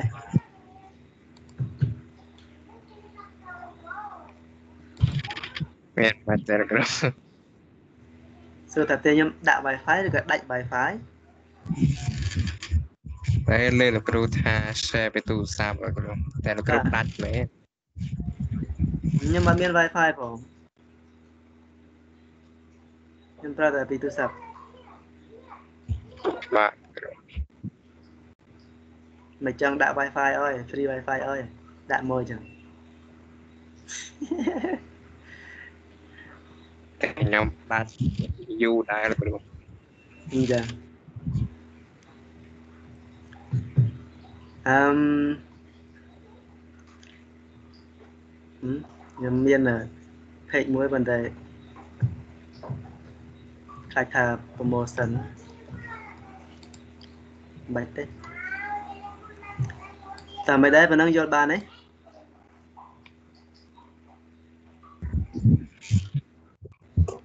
យកទៅធ្វើណាបើមិនធ្វើមិននឹងចេះណាដុល្លារអាណិតយកទៅស្អាតគ្រូវិរៈគ្រូធ្វើបានអត់ប៉ុណ្ណឹងបាទគ្រូអូតឡើងគឺជាយ៉ាងអីបាទខ្ញុំអត់ focus តែលើ GNS ទេណាយើងអាចធ្វើនៅលើ packet tracer ក៏បានដែរ ការ design topology នឹងឲ្យដូចគ្នាមក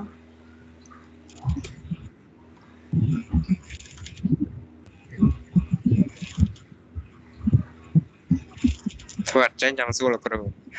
បាទធ្វើឲ្យចេញសួរមកណា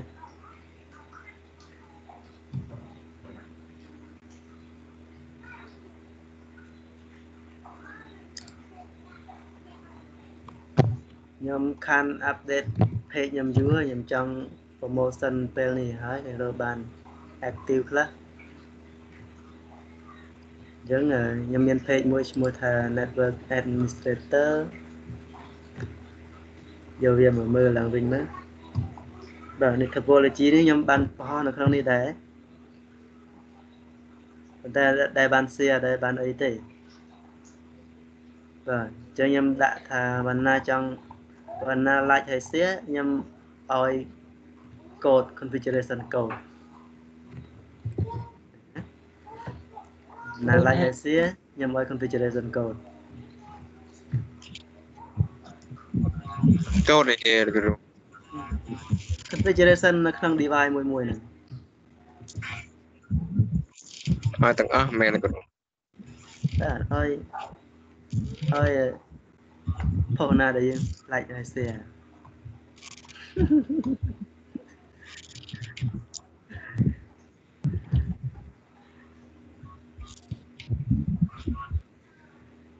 ខ្ញុំ ID page នោះលោកគ្រូពី page ហ៎អូនេះបានទាំងឈ្មោះមិន ID ផងពីមុនខ្ញុំដាក់ឈ្មោះអញ្ចេះដល់ពេលនេះទៅខ្ញុំដូរឈ្មោះ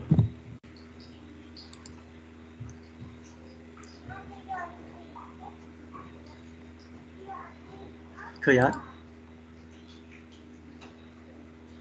ឃើញហើយលោកគ្រូ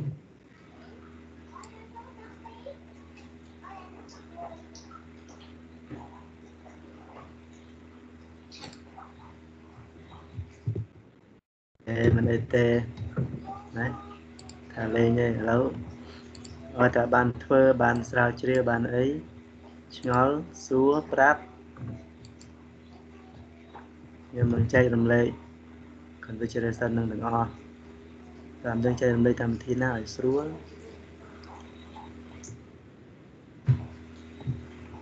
តោះមានសំណួរអីអត់តើ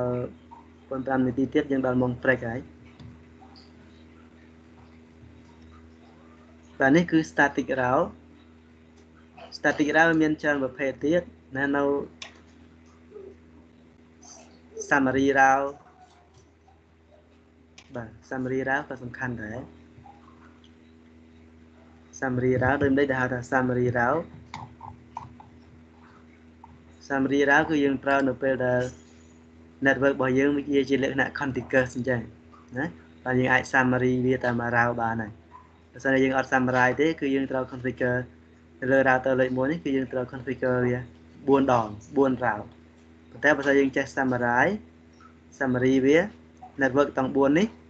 គឺយើងដាក់វាចូលតែមួយ route ទៅអញ្ចឹង យើងអាច configure តែមួយ route អញ្ចឹងចំណេញ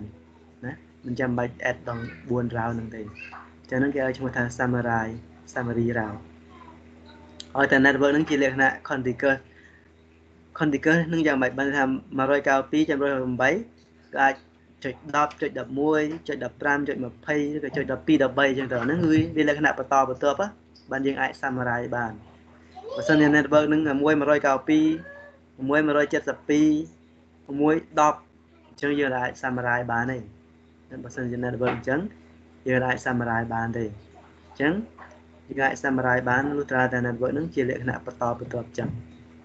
បាទហ្នឹងគឺហៅថា summarize route ហ្នឹងវាទាក់ទងនឹងការគណនាធ្វើម៉េចបានយើងរកអា network មួយហ្នឹងដែលវា combine network 4 5នឹងចូលគ្នាបានហ្នឹងតើយើងមានវិធីសាស្ត្រគណនាវាទៀត បាទមិនបែក IP ទៀតហើយណាភ្លេចមេរៀនចែក IP មិនបែក IP អស់ហើយមើលទៅ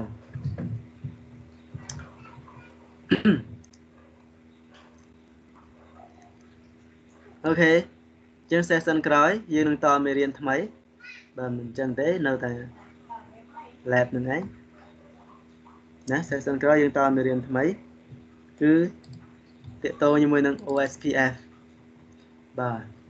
ចឹងនៅក្នុង Dynamic Routing Protocol បាទវាមាន distance vector ឬក៏ external ហើយនិង internal មែនទេនៅក្នុង internal វាមាន distance vector ហើយនឹង link state ណា distance យើងបានរៀនរួចមួយហើយគឺ rip ណា distance គឺយើង rip បាទនេះមេរៀន rip ណាយើងបាន configure ហើយ rip អូនេះ dynamic តាមេរៀនទី2មេរៀនទី2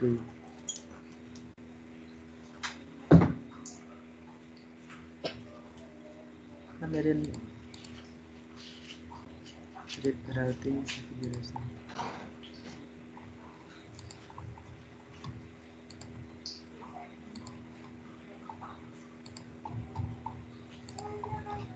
តែយើងបានរៀនរៀបរួចមួយហើយណាទាក់ទងនឹង dynamic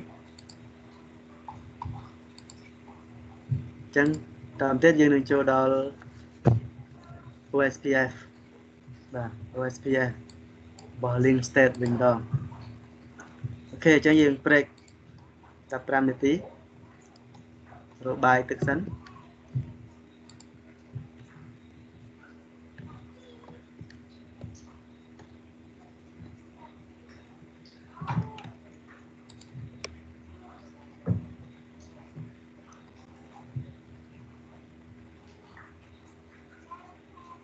គ្រូបាទបាទ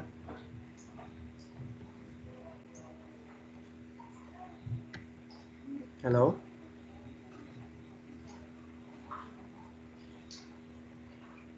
អឺគ្រូអធិស្ឋានគ្រូបាទបាទសារអាមិនហ្នឹងវាវាខុសពីអាយើងធ្វើគ្រូមួយណាខ្ញុំសូមលោកគ្រូជួយ screenshot អាកន្លែង អឺអឺអរេលោកគ្រូ screenshot អាកន្លែងរៅនៅក្នុង Cisco លោកគ្រូរៅលើ Cisco ហ្នឹងហើយគ្រូ command IP interface ព្រេះលោកគ្រូអឺគឺសតនៅលើ Cisco ហ៎ បា lab ទមួយណា lab lab មួយណាអញ្ចេះ lab static ណាលោកគ្រូ lab static ហ៎ចាំមើលខ្ញុំទៅមើល static lab screenshot យើងចង់បាន screenshot អីគេ configuration ខ្ញុំបាន screenshot អឺ IP ដែល assign ទៅលោកគ្រូ អូចាំមើលខ្ញុំបើកមើលសិនមើលតែខ្ញុំធ្វើសាកធ្វើទៅវាវាខុសរហូតអញ្ចឹងគឺខ្ញុំខ្លាចមកពីខ្ញុំអាសាញ IP ខុសចាំនេះហីអូមែនទេមែនអានេះណា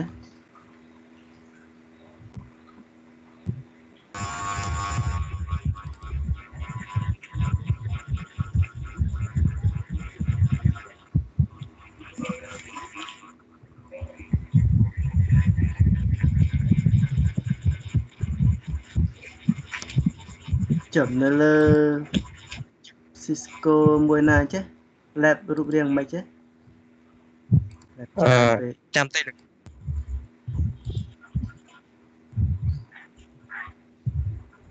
ទេនេះនៅលើ GNN អឺ lab ដែលលោកគ្រូផុសដំបងគេលោកគ្រូអូផុសហើយ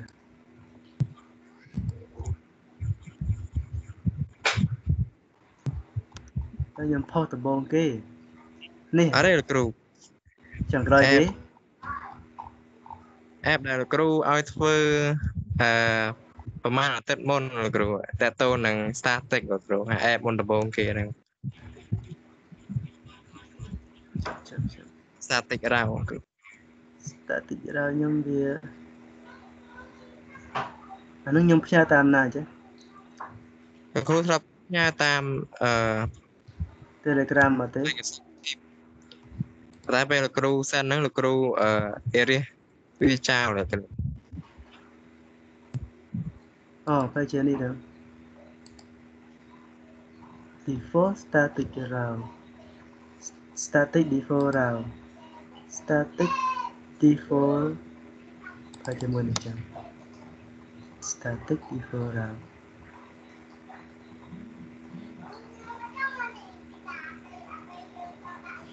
នេះហើយបានលោកគ្រូអាហ្នឹងហើយលោកគ្រូអញ្ចឹងបាន screenshot យ៉ាងម៉េច diagram នេះអត់ទេលោកគ្រូខ្ញុំសុំអាកន្លែង router លោកគ្រូទៅសុំមើល interface ដែលលោកគ្រូអាសាញឲ្យវិញហើយលោកអូមាន interface ដើម្បីបង្ហាញ interface យើងចូលទៅក្នុង edit អ option preference នេះ show port label មកណា show port label មកវានឹងចេញ interface ហើយណ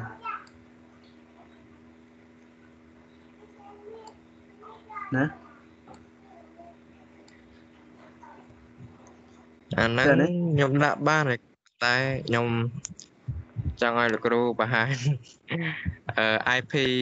មួយមួយដែលលោកគ្រូអាសាញឲ្យវាក្នុង router ហ្នឹងអូក្នុង command IP ព្រិះភាសាខ្ញុំធ្វើមួយអាទិត្យវាអត់ត្រូវរហូតអញ្ចឹងអត់ត្រូវ IP នេះ /30 /30 ចឹង204.10.10.0/30 ចឹងបើ router លេខ2ខ្ញុំនឹងប្រើ configure terminal interface ប្រហែលទេ interface serial 0 0តែភ្ជាប់ទៅកាន់ router លេខ1 interface ប្រហែល001បាទ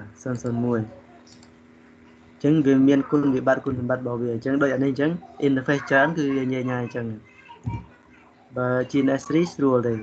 វា load label ហ្នឹងច្បាស់ច្បាស់ IP address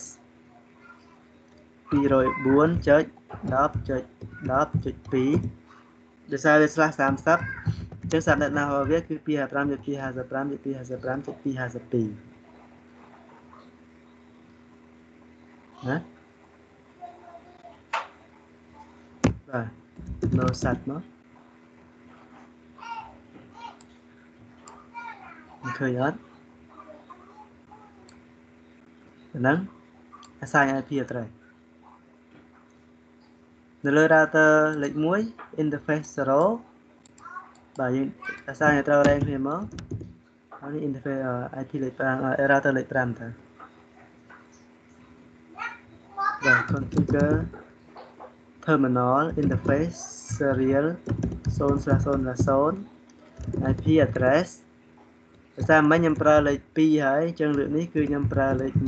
1សា30គឺបានតែ 2 IP ទេណាបានតែ 2 IP ទេ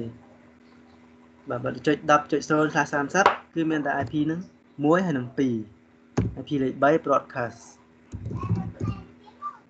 ហឹមប៉ុណ្ណឹង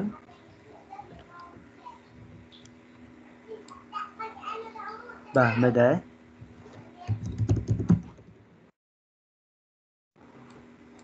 rồi running config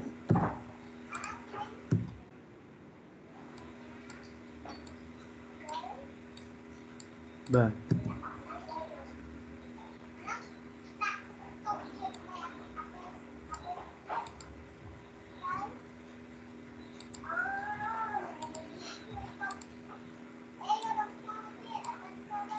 Bật chứ ba.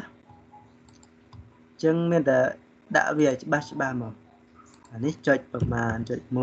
1ចុច2ណាអត់អត់អីទេសំខាន់ឲ្យតែ router ពីរនេះយើង design ទៅកុំឲ្យតែវាចិនគ្នាយើងអាចដាក់ខាងនេះមួយវិញខាងនេះពីរក៏បានណាខាងនេះពីរខាងនេះមួយក៏បានខាងនេះដូចគ្នាដែរដោយសារវាមានតែ 2 IP បើមួយប្រើមួយមួយទៀតប្រើពីរបើខាងនេះប្រើពីរខាងនោះប្រើមួយណាបើសិនជាវាស្លាស់30អញ្ចឹង គឺថាมันបញ្ហាទេយើងអាចអាសាញខាងណាមួយខាងណាពីរក៏បានដែរសំខាន់ពេលយើងរោពេលយើងអីទៅឲ្យតែវាត្រូវតាម IP នឹងទៅបានហើយណាចឹងចាំលើកក្រោយចាំដាក់ឲ្យច្បាស់ច្បាស់អាណាចុច1អាណាចុច2ចឹងបានអញ្ចឹងណាអូខេតោះ break សិនចា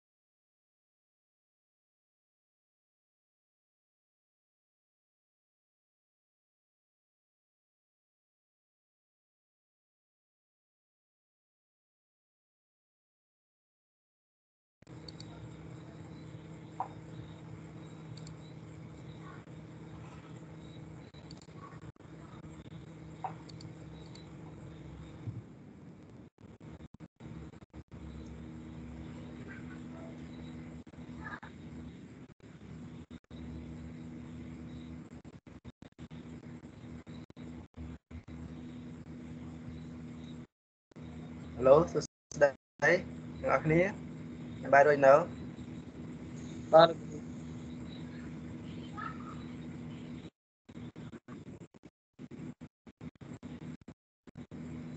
តោះជប់រៀនយើងអាចតមេរៀនថ្មីបន្តិចហើយយើងមាន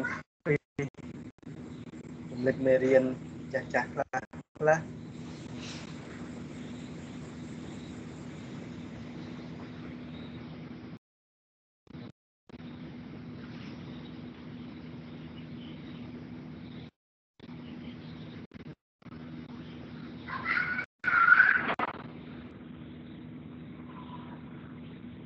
តែគេខ្ញុំអាចចាប់ផ្ដើមបានណា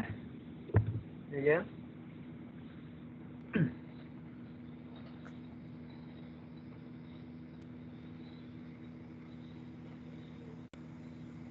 យ៉ាអញ្ចេះហេដូចបាត់មុខអញ្ចេះយូរហើយអញ្ចេះអេអញ្ចេះសុខសប្បាយអត់អញ្ចេះ បាទគ្រូសុខសប្បាយទេគ្រូចូលលោកគ្រូ បាទធម្មតានេះ បានគ្នា29នាក់បាទគួរសម50% 60%លីសសមាជិកក្នុងក្រុមដូចនឹង50នាក់អីដែរណាសេងហួរសៀងហួរសៀងហួរសេងហួរ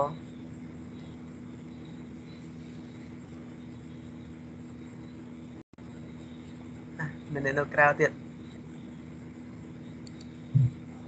ទេវិនមិនស្ទងទេវិនមិននៅក្រៅជាហ្វឹងមិនមិនបាននៅ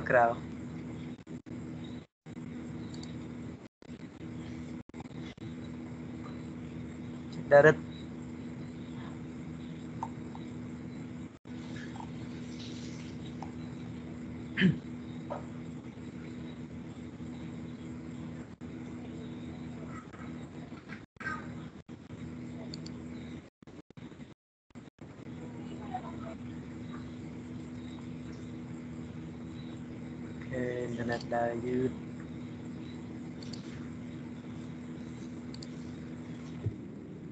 អញ្ចឹងអឺមេរៀនទី4យើងនឹងនិយាយអំពី dynamic routing protocol មួយទៀតដែលជាលក្ខណៈដែលប្រើប្រាស់ algorithm ប្រភេទ link state protocol នោះគឺ OSPF ណា OSPF អញ្ចឹងខ្ញុំចង់បែកទៅកាន់មេរៀនចាស់យើងមក ទៅជាមួយនឹង dynamic dynamic វាចែកចែងជាច្រើនប្រភេទណានៅចាំអត់អញ្ចឹងទាក់ទងដល់មាន distance vector នៅកន្លែងណាអញ្ចេះ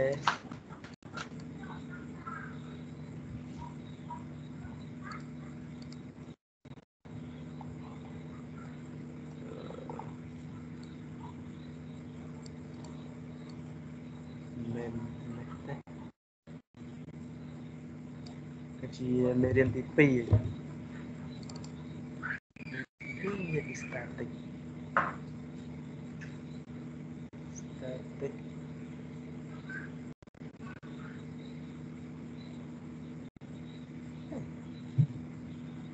បាត់ស្លាយនឹងទៅណា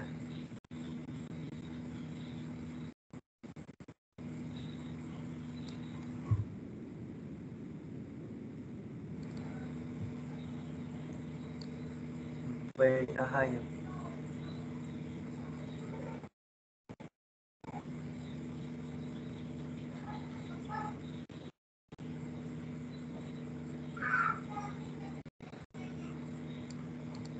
ហេចង់រក slide មួយនេះបាទចឹងនៅក្នុង dynamic routing protocol បាទវាមានប្រភេទ distance link state ណាចឹង distance យើងបានសិក្សាមួយហើយទាក់ទងជាមួយនឹង RIP version 2 បាទចឹងថ្ងៃនេះយើងនឹងចូល link state link state routing protocol យើងនឹងលើកយក OSPF version 2បាទអញ្ចឹងបាន2សរុបទៅនៅក្នុង dynamic គឺយើងបាន2យើងនៅមាន EI GRP មួយទៀតណាបាទ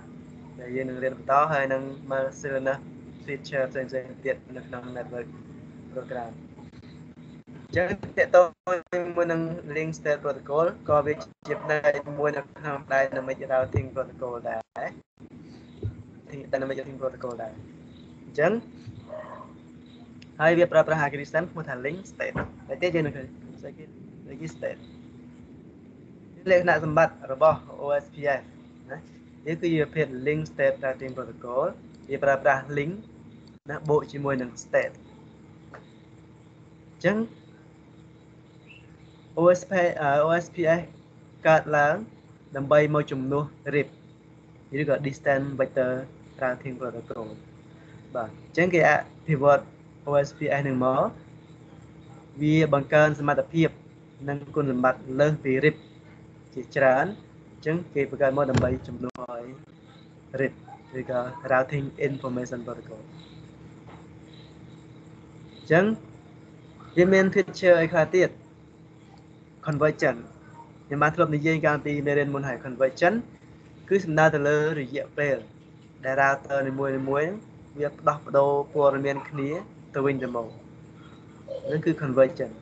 អញ្ចឹងបើសិនជា routing protocol ណាដែលប្រើប្រាស់ convergent រយៈពេលដែលវា converge ចូលគ្នានឹងលឿនគឺវាអត់ប៉ះពាល់ដល់ការផ្ដល់ service ទៅឲ្យ client ទេបើសិនជា routing protocol ណាដែល ប្រើប្រាស់រយៈពេលយូរក្នុងការ converge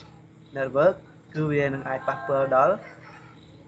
service ក្នុងការផ្ដល់ service ទៅឲ្យ client អញ្ចឹងដែលឡែកសម្រាប់ OSPF គឺរយៈពេលដែលវាចំណាយក្នុងការធ្វើ converge network ហ្នឹងគឺវាលឿនណាស់លឿនជាង RIP លឿនជាង RIP អញ្ចឹងវាអាចប៉ះពាល់ដល់ការផ្ដល់ service ទៅឲ្យ client ទេមួយទៀត OSPF បាទគឺគេប្រើប្រាស់ feature មួយទៀតដែលគេឲ្យឈ្មោះថា area តំបន់អញ្ចឹងគេប្រើប្រាស់មួយតំបន់មួយតំបន់ឬក៏យើងហៅមួយ area មួយ area ផ្សេងផ្សេងពីគ្នា ដើម្បីកំណត់នឹងការធ្វើការបែងចែកបាទ routing domain ជាគេ routing domain គឺសំដៅទៅលើព័ត៌មាននីមួយៗនៅក្នុងមួយ area ណាមួយ គឺនៅក្នុងមួយ domain មួយបាទអញ្ចឹងវាអត់ប្រើប្រាស់ បានន័យថាយើងអាចបែងចែក area ផ្សេងផ្សេងគ្នាបានដើម្បីឲ្យវាធ្វើប្រតិបត្តិការដើម្បីឲ្យវាអឺតាកតងគ្នាបានមួយ area មួយ area វាមានវាមិនផ្ដល់ផលប៉ះពាល់ទៅកាន់ area ណាមួយផ្សេងនៅពេលដែល area ណាមួយផ្សេងទៀតមានបញ្ហាអញ្ចឹង area ហ្នឹងគឺគេបង្កើតឡើងដើម្បីបែងចែកតំបន់បាទតំបន់របស់អឺ OSPF នឹងនីមួយៗហ្នឹងណាអញ្ចឹងវាបែងចែកវាមានគុណសម្បត្តិរបស់វាអឺមួយចំនួន ជាជាងដែលយើងមិនបែងចែកវាជា area បើសិនជា network យើង ដែលមាន router 50ឧទាហរណ៍ថាយើងអត់បែងចែក area វាទេអញ្ចឹងក្នុង network ក្នុង router ទាំង50ហ្នឹងនៅពេលដែលវាមាន link ណាមួយ update down ឬក៏ up អ ញ្ចឹងវានឹង send ព័ត៌មានហ្នឹងគ្រប់ router ទាំង50ហ្នឹងបើសិនជាយើងធ្វើតែមួយ area បើសិនយើងបែងចែកវាជា area area ឧទាហរណ៍តាមមួយ area router 10មួយ area router 10នៅពេលដែលមានបញ្ហាកើតឡើងនៅក្នុង area ណាមួយវា affect តា area របស់វានឹងទេណា area មួយផ្សេងទៀតគឺវាអត់អត់តាក់ទងទេហ្នឹងគឺគុណសម្បត្តិរបស់ area ហ្នឹងបាទអញ្ចឹងគេថា network administrator គឺអាចបែងចែក routing domain ទៅជា area ផ្សេងផ្សេងគ្នាដើម្បីបែងចែកចរាចរណ៍បាទដូចខ្ញុំនិយាយមិនអញ្ចឹងបើសិនជា area ណាមួយវាមានបញ្ហាវាអត់ប៉ះពាល់ជាមួយ area ណាមួយផ្សេងទៀតទេអញ្ចឹងចរាចរណ៍នៅក្នុងនេះគឺចង់បានន័យថា traffic តកតជាមួយនឹង traffic network បើសិនជា area ណាមួយវាធ្វើ convergence វាប៉ះពាល់តែ area មួយហ្នឹង area ផ្សេងផ្សេងទៀតអត់ប៉ះពាល់បាទអញ្ចឹង area កាន់តែច្រើន ធ្វើឲ្យផលប៉ះពាល់ទៅដល់ area ផ្សេងផ្សេងទៀតវាកាន់តែតិចចឹង link នៅក្នុងនេះគឺគេថាសំដៅទៅលើ interface បាទ interface របស់ router ដែលភ្ជាប់ទៅកាន់ router មួយផ្សេងទៀតគឺជា interface បាទមានអីពិបាកយល់ទេឧទាហរណ៍ថា router 1 router 2បាទ link គឺសំដៅទៅលើ medium network medium ណាដែលប្រើដើម្បីភ្ជាប់ពី router មួយនេះមកកាន់ router មួយផ្សេងទៀតហ្នឹងគឺ link បាទវា state state គឺព័ត៌មានឬក៏ metadata របស់ link មួយមួយហ្នឹងណា state របស់វាបានន័យថាម៉េចឧទាហរណ៍ថា link ហ្នឹងមាន speed ប្រមាណណាអាចដឹកជញ្ជូនបាន speed ប្រមាណ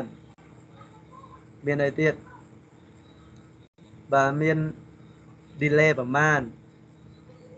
អាហ្នឹងគឺជា state របស់ link អញ្ចឹងសរុបទៅគេហៅថា link state អញ្ចឹង OSPF គឺប្រើប្រាស់ link state បាទអញ្ចឹងប្រើប្រាស់ algorithm របស់វាដែលវាជ្រើសរើស flow ដែលល្អដើម្បី route network ទៅកាន់ destination ណាមួយ គឺវាពឹងផ្អែកទៅលើ feature ពីរហ្នឹងណា link បូកជាមួយនឹង state អញ្ចឹង link ណាដែលដែលមាន state ល្អល្អបានវាជ្រើសរើស link ណាដែលមាន state មិនល្អវាជ្រើសរើសទេណាឧទាហរណ៍ថា link មួយអាចដឹកជញ្ជូនបាន1000មេ បាទ delay វាតែ0.2អីចឹងទៅណា delay របស់វាហើយ link មួយទៀតអាចដឹកជញ្ជូនបានតែ100វាមាន delay ឧទាហរណ៍ថា200បាទអញ្ចឹងវាគេអានេះមើលទៅតើ state របស់ link ហ្នឹងគួរតែទៅផ្លូវណានេះដឹកបានធំបញ្ហាកើតមានតិចដឹកបានតិច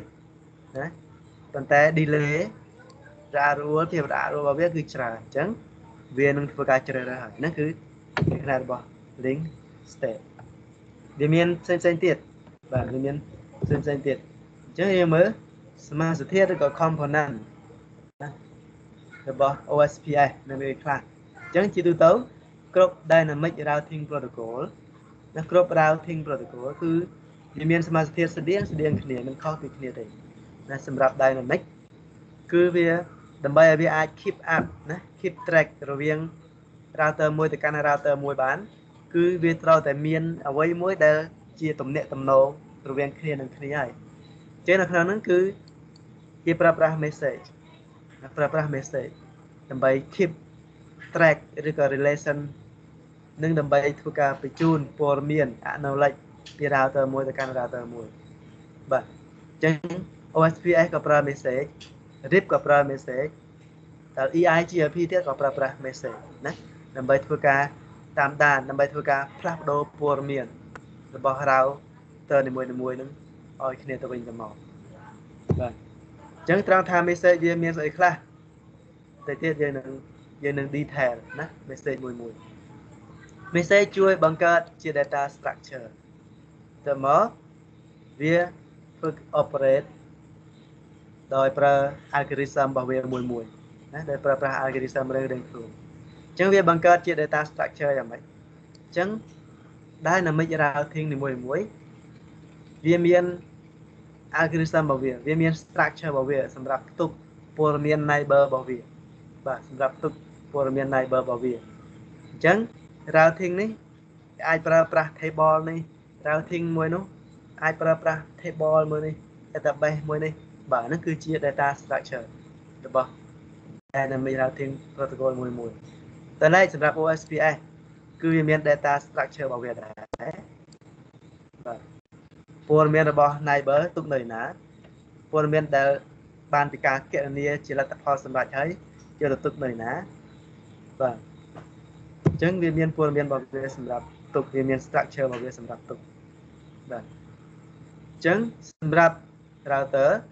ធ្វើការផ្លាស់ប្ដូរ OSPF message ដើម្បី បាទដឹកជញ្ជូនព័ត៌មាន routing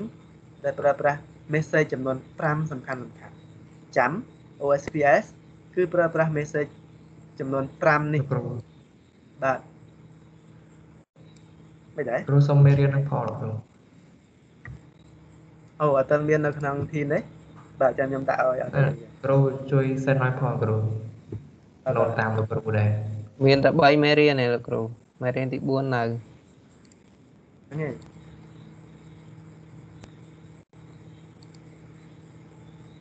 សូមលោកគ្រូតម្លាក់ឲ្យផងលោកគ្រូចាំបានណូតតាមគ្រូដែរអូខេចេះ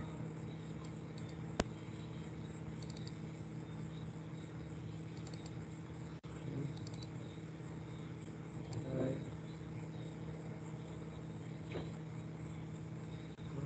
convert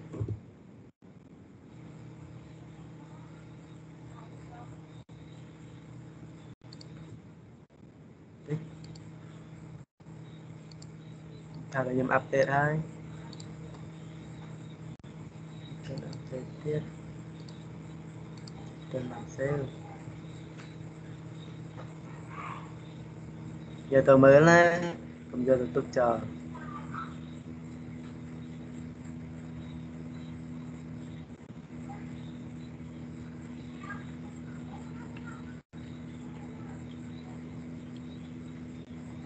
គឺ មើលតើលោកគ្រូ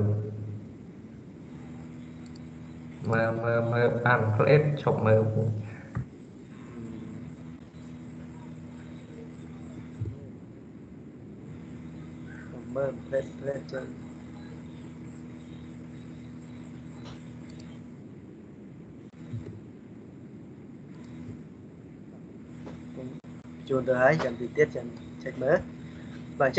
ត្រូវចាំ OSPS គឺប្រើប្រាស់ message 5នេះសំខាន់សំខាន់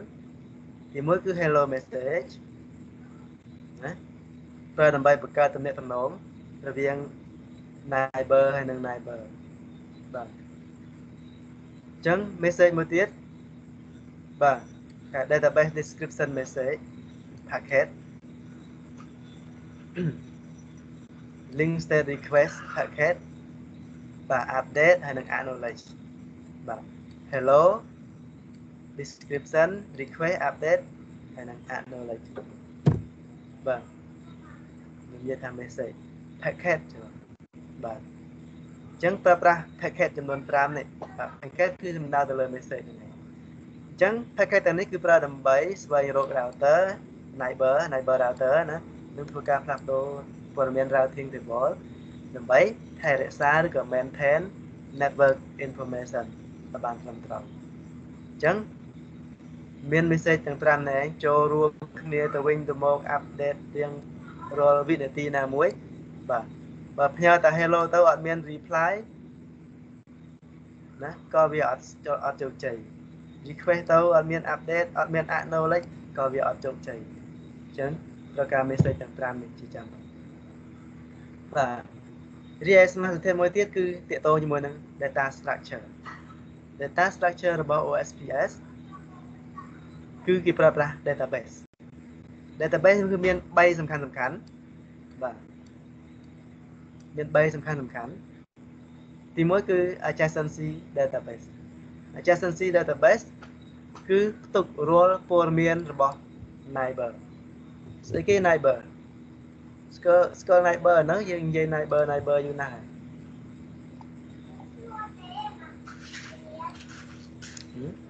ស្គាល់ neighbor អត់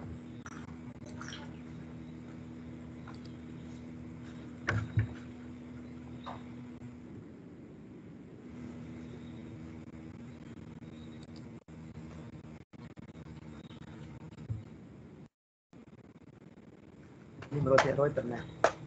ដោយសារខ្ញុំ zoom នេះចូលដល់វា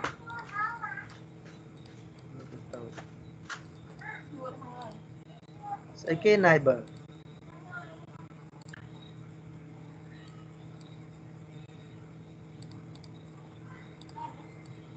បាទ neighbor ហ្នឹងគឺសំដៅទៅលើ router មួយដែលភ្ជាប់ទៅកាន់ router មួយទៀតហ្នឹងបាទហ្នឹងគឺហៅថា neighbor ហើយ neighbor neighbor របស់ router លេខ1គឺមាន router លេខ2ហើយនិង router លេខ3ណា directly connected each other ហ្នឹងគឺយកឈ្មោះថា neighbor អញ្ចឹង adjacency database ណាសម្រាប់ផ្ទុករាល់ព័ត៌មានរបស់ neighbor ហ្នឹងឯងបាទផ្ទុកព័ត៌មាន neighbor ហ្នឹងឯង start lab នឹងហើយដើម្បី demo ឲ្យយើងមើលឃើញដល់ឡើយចឹងដើម្បីមើល adjacency database អ្នកទាំងអស់គ្នាអាចប្រើប្រាស់ command នេះ so IPOSPS neighbor អញ្ចឹងយើងនឹងឃើញហើយថានៅក្នុង router ហ្នឹងវាមាន neighbor វាមានអឺបាទវាមាន router ណាខ្លះដែលជា neighbor របស់វា បាទដែលជា neighbor របស់វាហ្នឹងគឺសម្រាប់ផ្ទុកតែព័ត៌មានរបស់ router ជិតខាងឯងបាទហើយវាមានតែមួយគត់ណាតារាងហ្នឹងគឺមានតែមួយគត់ក្នុង router នីមួយៗអត់នៅក្នុង router នីមួយៗអត់អាចមាន database adjacency 1 database adjacency 2ទេបាទគឺមានតែមួយសម្រាប់ទុករាល់គ្រប់ neighbor ទាំងអស់ដែលវាបាន communicate ជាមួយគ្នាបាទហើយ router នីមួយៗក៏វាក៏វាចែករំលែកព័ត៌មានរបស់ neighbor table នេះទៅឲ្យអ្នកដទៃដែរណាចែករំលែកណាវា share ព័ត៌មានរបស់ neighbor ហ្នឹងទៅឲ្យអ្នកដទៃដែរបាទរីឯ database ទី2គឺ database link state ណាឬក៏គេហៅកាត់ថា LSDB បាទ link state database ណានៅក្នុង link state database ហ្នឹងគឺផ្ទុក topology បាទអញ្ចឹង OSPF នៅពេលដែលវា learn neighbor ទៅវិញទៅមកបានហើយវានឹងបង្កើតទៅជា topology បង្កើតទៅជា topology យ៉ាងម៉េចបាទទៅជា topology ឧទាហរណ៍ថា router លេខ1នេះ ទៅពេលដែលវា learn neighbor របស់វាបានណាវាដឹងថា router លេខ1ភ្ជាប់ទៅកាន់ router លេខ2ភ្ជាប់ទៅកាន់ router លេខ3 router លេខ3ភ្ជាប់ទៅកាន់ router លេខ4តាម interface នេះ router លេខ2ភ្ជាប់ទៅបាទ អញ្ចឹងវាបានហើយវាជាអាចវាវាប្រៀបដូចជា panty អញ្ចឹងវាអាចមើលនឹង topology ទាំងមូលតែម្ដងថា router ណាភ្ជាប់ទៅកាន់ router ណា copy static បាទ copy read បាទ copy read read មើលអត់ឃើញទេណាវាដឹងតែ router ដែលវាភ្ជាប់ជាមួយគ្នាទៅវិញទៅមកប៉ុណ្្នឹងឯង router ដទៃវាមើលអត់ឃើញទេតែសម្រាប់ OSPF គឺគឺវាអាចមើលឃើញ whole topology ទាំងតែម្ដង បាទបន្ទាប់ពីវាសិក្សាពី neighbor បានហើយវា build បង្កើតបានទៅជា topology នៅពេលដែលវាបង្កើតបានទៅជា topology ហើយទៅ algorithm វាបាទកណនីដើម្បីជ្រើសរើសផ្លូវដែលល្អបាទផ្លូវដែលល្អបន្ទាប់ពីវាកណនីបានគឺវាផ្ទុកនៅក្នុង database មួយដែលឲ្យឈ្មោះថា forwarding database forwarding database ហ្នឹងគឺផ្ទុក routing table ហ្នឹងអញ្ចឹងលទ្ធផលដែលវាសម្រេចបានណាគេថា final product អញ្ចឹង final product ហ្នឹងគឺវានឹងយកទៅដាក់នៅក្នុង routing table ដែលយើងអាចប្រើបានដោយប្រើ command show IP route ហ្នឹងណាដែលខ្ញុំតែងប្រើ show IP route ហ្នឹងនឹងគឺនៅក្នុង database ចុងក្រោយហើយណាអូសម្រាប់ link state យើងមើលដោយប្រើប្រាស់ command show IP OSPF database តើចេះយើងស្ដាប់មើលយើងមើលនៅក្នុង router លេខ1យើងបើក console តើ យើងមក show ណា IP អូអូអត់មាន configuration ទេ so running តែខ្ញុំធ្លាប់ save ទុកតា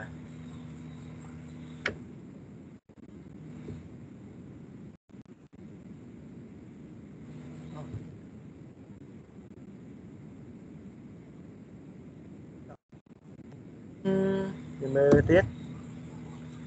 ខ្ញុំប្រើ comment ដើម្បីមើល adjacency database ណា show IP OSPF neighbor អញ្ចឹងតើ router លេខ1នេះវាមាន neighbor ណាខ្លះតើជើយើងឃើញវាប្រាប់ហើយអញ្ចឹង router លេខ1គឺមាន neighbor ដែលមាន router ID ប៉ុណ្ណេះមួយ ណាបើ3.3.3បើន័យថា router លេខ3ហើយនឹង router លេខ2ដែលមាន ID 2.2.2ឃើញទេនេះអញ្ចឹង router លេខ1គឺវាភ្ជាប់ទៅកាន់ router លេខលេខ3ហើយនឹង router លេខ2អញ្ចឹងយើងមើល state របស់វាបាទដោយសារវាប្រភេទ multi access link អញ្ចឹងវាមាន full វាមាន DR DR គឺបានន័យថា designated route នៅតាមក្រោយសង្កលបាទអញ្ចឹងវាមាន IP address ប្រមាណណា IP address ហ្នឹងគឺមិនមែន IP address ខ្លួនវាទេគឺ IP address របស់ neighbor router ណាឲ្យច្បាស់ណា IP address ហ្នឹងគឺ IP address របស់ neighbor router router មិនមែនជា IP address របស់ខ្លួនវាទេអញ្ចឹង router លេខ2មាន IP address 10.10.10.2 router លេខ3មាន IP address 10.10.20.3បាទអញ្ចឹងព័ត៌មានដែលវាទទួលបាននៅក្នុងរបស់ neighbor របស់វាគឺវាទុកនៅក្នុង neighbor table ណា neighbor database database adjacency តើពេលវាទទួលបានព័ត៌មានពី neighbor របស់វាហើយវាបង្កើតបានទៅជា topology topology ហ្នឹងគឺយើងប្រើ so IP OSPF database បាទប្រើ command នេះអញ្ចឹងយើងឃើញវាទទួលបានពី router លេខ2ទទួលបានពី router លេខ3អញ្ចឹងវា build បង្កើតបានទៅជា topology បាទអញ្ចឹង link ID យើងនឹង detail ណាបើសិនយើងរៀនឲ្យ advance ស្អីគេ router link state ណា net link state default នេះគឺ area 0ខ្ញុំ config ខ្ញុំ configure វាជា area 0បាទអញ្ចឹងវាមាន link ID ADV router អញ្ចឹងគឺវា map ធ្វើជា topology ហើយ edge របស់វាបាទយើងអត់ detail ទេកន្លែងនេះអូខេអញ្ចឹងបន្ទាប់ពីវាបង្កើត topology algorithm វាគណនាបានជំរើសចុងក្រោយគឺ show IP route អញ្ចឹងយើងបាន route របស់ OSPS នេះ OSPS គឺ flag វាតំណាងដោយអក្សរ O ឬក៏យើងអាចមើលនៅក្នុង flag នេះណា O គឺតំណាងឲ្យ OSPS បាទអញ្ចឹង OSPS ដែលវា learn បាននៅក្នុង router លេខ1នេះគឺមាន network 10.10.30 10.10.40.50.60.70នេះសុទ្ធតែជា network ដែលវា learn ពី network ផ្សេងផ្សេងតាមរយៈ OSPS routing protocol បាទអញ្ចឹងលទ្ធផលសម្រាប់ដើម្បីចង់ទៅកាន់ network 10.10.30 ត្រូវចេញតាម gateway នេះឬក៏ interface នេះបើចង់ទៅកាន់ network 10.10.70បាទត្រូវចេញតាម gateway នេះឬក៏ interface បាទ0លើ2អញ្ចឹងយើងមើលមើលនៅលើនេះនៅលើ router លេខ1បើចង់មកកាន់ network 10.70នេះ70នេះគឺចេញតាម interface gigabit 0លើ2បាទន័យថាមកតាមផ្លូវ router លេខ3រួច router លេខ4បាទ បាទចឹងសមាសធាតុរបស់សំខាន់សំខាន់របស់ OSPF គឺ data structure របស់វាគឺមាន3 database បាទមាន3 database សម្រាប់ខ្លះបងបាទហើយតែបានប្រហែល slide តែបាន10 slide ដល់ពីថា router បង្កើតតារាងឬក៏ topology topology table នេះ ដោយប្រើប្រាស់លទ្ធផលដែលវាបានពីការគណនាទៅតាម algorithm របស់នេះគឺជា algorithm របស់ OSPS ឈ្មោះថាអានថាម៉េច DJ Kestra shortest path first អូពិបាកអានណាណា D ឬក៏ DSPFS ហើយយើងអានអក្សរកាត់កាត់បាទអញ្ចឹងវាប្រើប្រាស់ algorithm នេះ ដើម្បីធ្វើការគណនាទៅលើ link ហើយនឹង state រួចសម្រាប់ថាផ្លូវណាដែលល្អអញ្ចឹង SPS algorithm មក shortest path first algorithm SPS នេះគឺ shortest path first គឺយោងតាមផលបូកសរុបរបស់ cost ណារបស់ cost cost គឺជាតម្លៃដែលបានមកពីការគណនាទៅលើ link ទៅលើ bandwidth ទៅលើ delay ទៅលើអីរបស់ interface មួយមួយហ្នឹងបង្កើតបានទៅជា cost ណា cost ហ្នឹងហើយ cost ណាដែលតិច cost ណាដែលច្រើន វានឹងចាត់ទុកថាយ៉ាងម៉េចបាទគឺ algorithm វាជាអ្នកគណនាអញ្ចឹង cost ហ្នឹងគឺវាបូកពីចំណុចចាប់ផ្ដើមរហូតទៅដល់ដល់ destination បានន័យថាម៉េចឧទាហរណ៍ថា router លេខ1 ចង់ទាក់ទងមកកាន់ network 10.10.70ណាអញ្ចឹង algorithm របស់វាធ្វើការគណនាបើចេញមកតាមបើចេញពី router លេខ1តាម router លេខ3ឆ្លងកាត់ router លេខ4មានខុសប្រមាណបើចេញពី router លេខ1ឆ្លងកាត់ router លេខ2តាមរយៈ router លេខ4មានខុសប្រមាណបាទអញ្ចឹងវាធ្វើការគណនាផលបូកសរុប ណាតាំងពីចំណុចចាប់ផ្ដើមនេះរហូតមកដល់ destination នេះបានចេញទៅជា cost អញ្ចឹងយើងសាកមើលនៅក្នុងនេះដើម្បីមកកាន់ network 10.10.70បាទអញ្ចឹងយើងឃើញខុសវាប្រហែលនេះខុសវាតែ3ទេបាទខុសវាតែ3ទេអញ្ចឹង3ខុសបាទអញ្ចឹងអាគ្រីសឹមវាកណនីវាគិតបូកដកមិនបានវាចេញ3បូកដកមិនបានចេញ2ឃើញណា បាទនេះចេញរហូតដល់11បាទចេញរហូតដល់11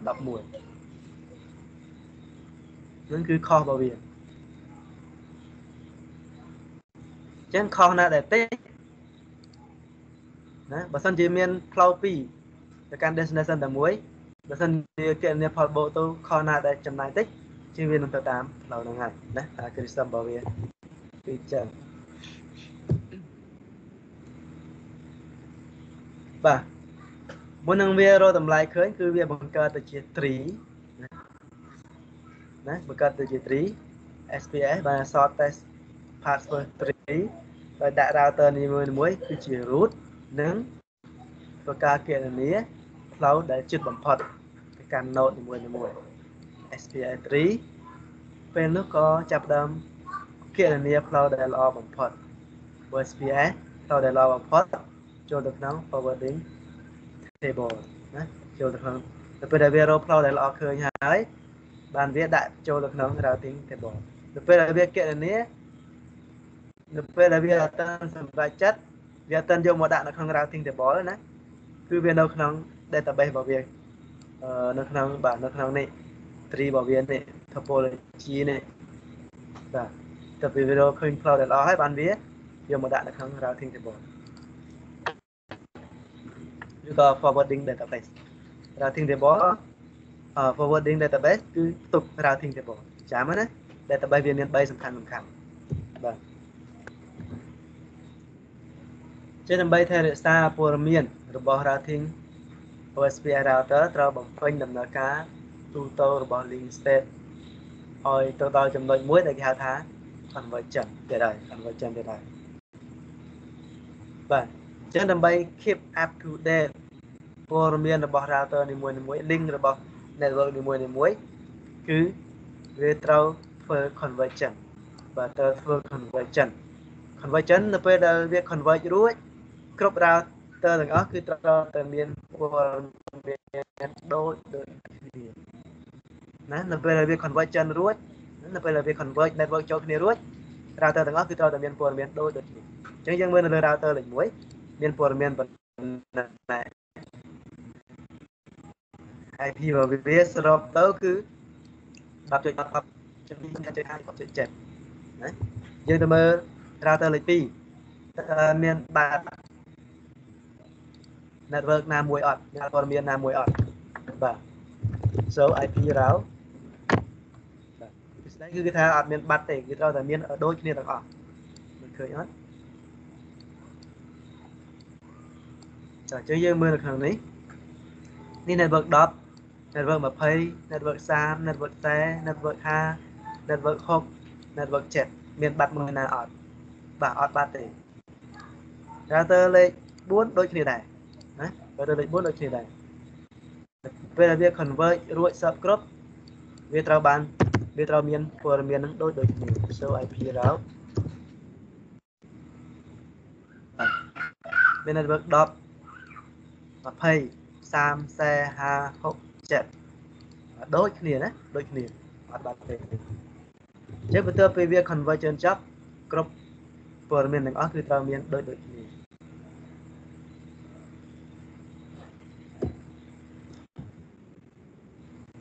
បាទ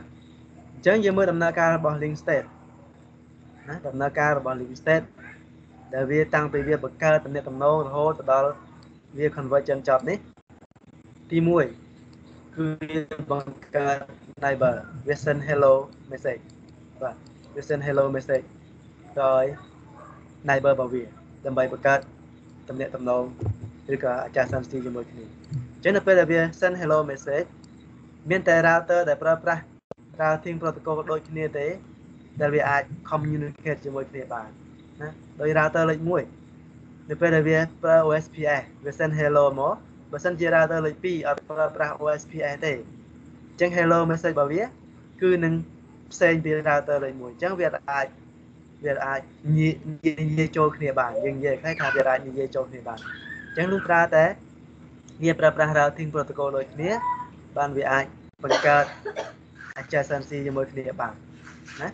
បើ router លេខ1ប្រើ OSPF router លេខ2ប្រើ OSPF ដូចគ្នាបាន ទើបវាអាចស្ដាប់ hello message ហ្នឹងពី router លេខ1បានបើសិនជា routing protocol ផ្សេងគ្នាវាអាចស្ដាប់បានទេប្រៀបដូចយើងម្ខាងនិយាយខ្មែរម្ខាងនិយាយបារាំងអញ្ចឹងអញ្ចឹងនិយាយអត់ចូលគ្នាទើបពេលវាបង្កើត neighbor adjacency ហើយវានឹងធ្វើការផ្លាស់ប្ដូរបាទ link advertisement link state advertisement អញ្ចឹងវាធ្វើការផ្លាស់ប្ដូរយ៉ាងម៉េច link advertise ហ្នឹង router លេខ1មាន network 10.10 network 10.10.20អញ្ចឹងវានឹងផ្លាស់ប្ដូរឬក៏ advertise network របស់វារៀងរៀងខ្លួនវាមាន network 10.10 10.20វានឹងបញ្ជូនទៅឲ្យ router លេខ2បញ្ជូនមកឲ្យ router លេខ3បាទរីឯ router លេខ2ដូចគ្នាដែរវាមាន network 10.30 10.50អញ្ចឹងវាត្រូវបញ្ជូនទៅឲ្យ router លេខ1វិញណាទៅពីវាបង្កើត adjacency ជាមួយគ្នាហើយ គឺវាត្រូវផ្លាស់ប្ដូរបាទផ្លាស់ប្ដូរឬក៏ send advertise ហ្នឹង advertisement ហ្នឹងគឺ send ព័ត៌មាន network រៀងរៀងខ្លួនទៅវាទទួលបានព័ត៌មានដែលវាបានពី neighbor របស់វាហើយបាទវាបង្កើតបានដូចជា link state database ទៅមកទៀតបាន algorithm របស់វាធ្វើការគណនាហើយទៅកាន់ link នេះ flow នេះ link ពី router នេះ មានខុស ប្រមាណ link ទៅកាន់ router នោះមានខុសប្រមាណអញ្ចឹងវាធ្វើការគណនាបាទអញ្ចឹងក្រោយគឺជ្រើសរើស flow ដែលដែលល្អបាទជ្រើសរើស flow ល្អតើណាបាទចាស់មាន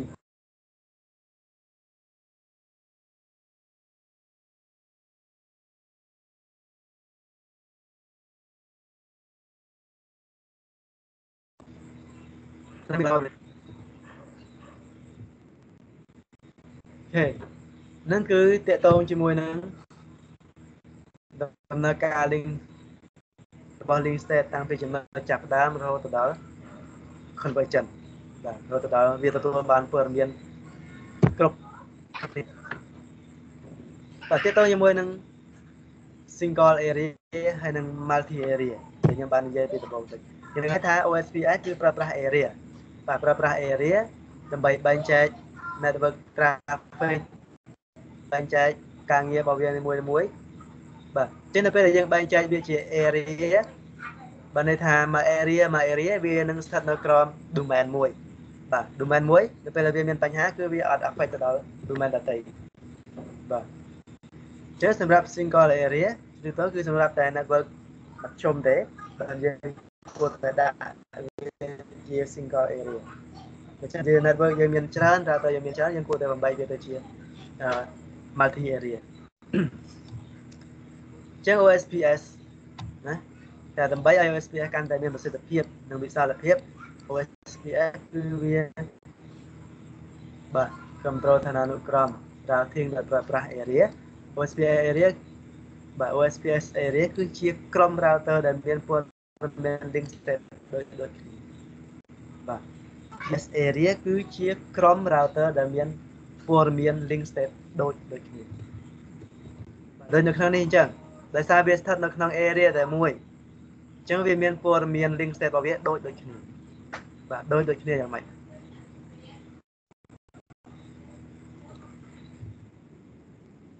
លើ router លេខ4 so IP SPI database បាទ 1 1 2 2 3 3 4 4ឃើញអត់នៅលើ router លេខ2 show IP PS database បាទ1 1 2 2 3 3 4 4អញ្ចឹងដោយសារដោយសារវាស្ថិតនៅក្នុង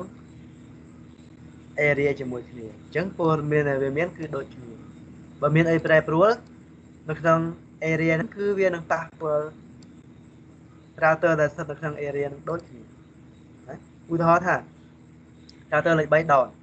បាត់ network 10.40ហើយអញ្ចឹង router ផ្សេងផ្សេងៗដែលស្ថិតនៅក្នុង area ជាមួយគ្នានេះវានឹងទទួលបាន message update message request ពី router ដទៃនឹងដូចដូចគ្នាបាទ អញ្ចឹងវា affect ទៅលើ area នឹងតែមួយណា area នឹងតែមួយហ្នឹងគឺបាទលក្ខណៈរបស់ area មួយមួយហ្នឹងអញ្ចឹងគេថា area OSP area គឺជា router ដែលមានព័ត៌មាន link stable ដូចគ្នាអញ្ចឹង OSPF វាអាចជា single area ឬក៏ multi area single area គ្រប់ router គឺនៅក្នុង area តែមួយណាតែមិនការអនុវត្តតែល្អប្រសើរគឺ area 0បើមិនជាយើងប្រើប្រាស់ area តែមួយគឺគេ recommend ឲ្យយើងប្រើប្រាស់ area 0យល់ទេអញ្ចឹងគេយក area 0ហ្នឹងគឺជាគោលគឺជា backbone area ណាគឺជា backbone area ថ្ងៃក្រោយឧទាហរណ៍ថា network យើង close network យើង scale អញ្ចឹងយើងនឹងត្រូវការបង្កើត area ផ្សេងទៀត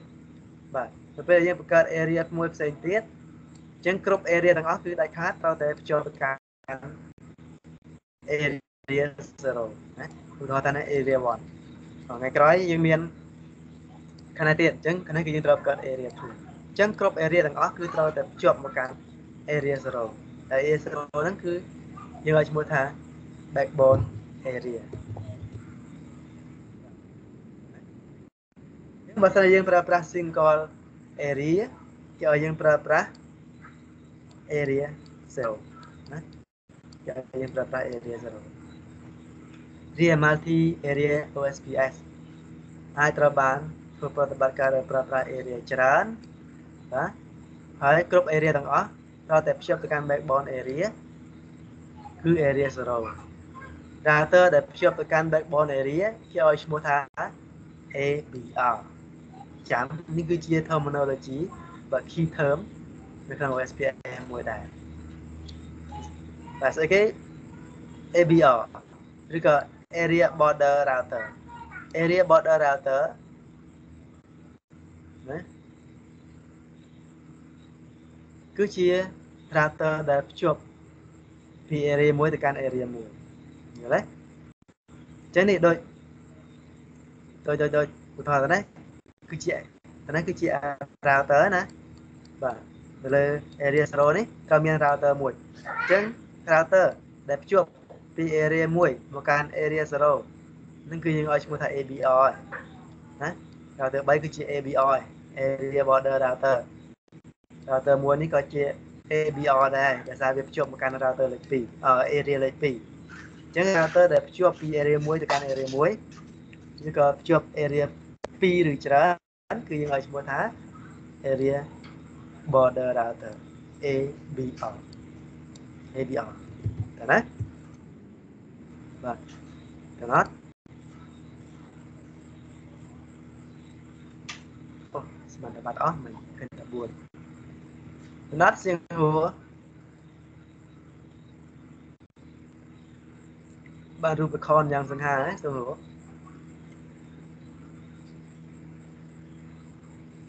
ស្អីគេ ABR area border router បាទ note ចំណាំខ្លួនឯងញ៉ាំបងបានហើយ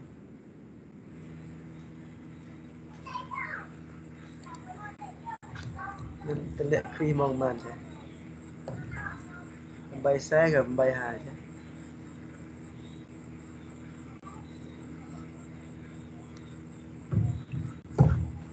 Hello មានសំណួរអត់ដល់ចំណុចហ្នឹង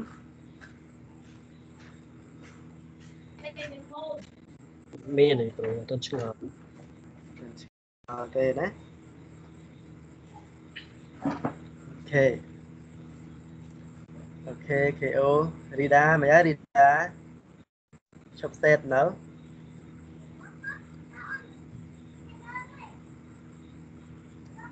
បាទឈៀវ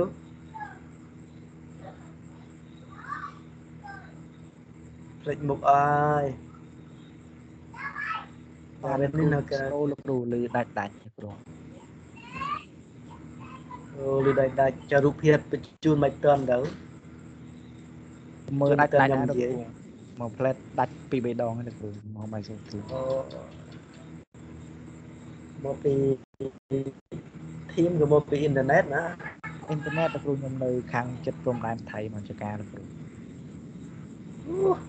នៅបានចិត្តយ៉ាងបានចំការច្រើនហើយ បានតិចដែរគ្រូ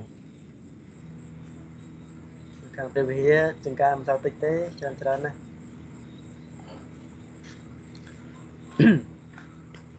បាទរកកន្លែងណាដែលមានសេវាល្អណាមិនសូវអឺបាទថ្ងៃច័ន្ទខ្ញុំឡើងទៅសៀវិញមនឹងរាបវិញបានឆ្លើយលោកគ្រូឡៃតាអឺគៀងម៉ៅបាទបាទ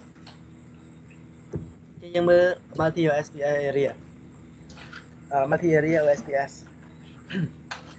បាទអញ្ចឹងពេលណាដែលយើងគួរប្រើប្រាស់ multi area ណាវាមានគុណសម្បត្តិវាមានលក្ខណៈយ៉ាងម៉េចខ្លះយើងទី1តើកាលណាយើងបែងចែក area វាច្រើនអញ្ចឹងនៅក្នុង area មួយមួយគឺវាមាន router តិចហើយណាបន្ថយចំនួន router តែកាលណាចំនួន router វាមាន ធ្វើឲ្យព័ត៌មាននៅក្នុង area ហ្នឹងគឺមិនជាច្រើនហើយណាហើយធ្វើឲ្យព័ត៌មាន routing table ក៏ដោយ database topology ក៏ដោយបាទអត់សូវធំហើយអត់សូវច្រើនហើយអញ្ចឹងទៅពេលដែលវា convert ម្ដងប្រើប្រាស់ទៅកាន់តែលឿនបាទហើយនៅពេលដែលវា share ព័ត៌មានហ្នឹងក៏វាចំណាយពេលលឿនដែរហើយ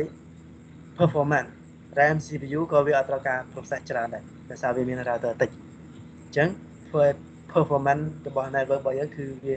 លឿនបាទអញ្ចឹង smaller routing table នៅពេលយើងធ្វើ multi area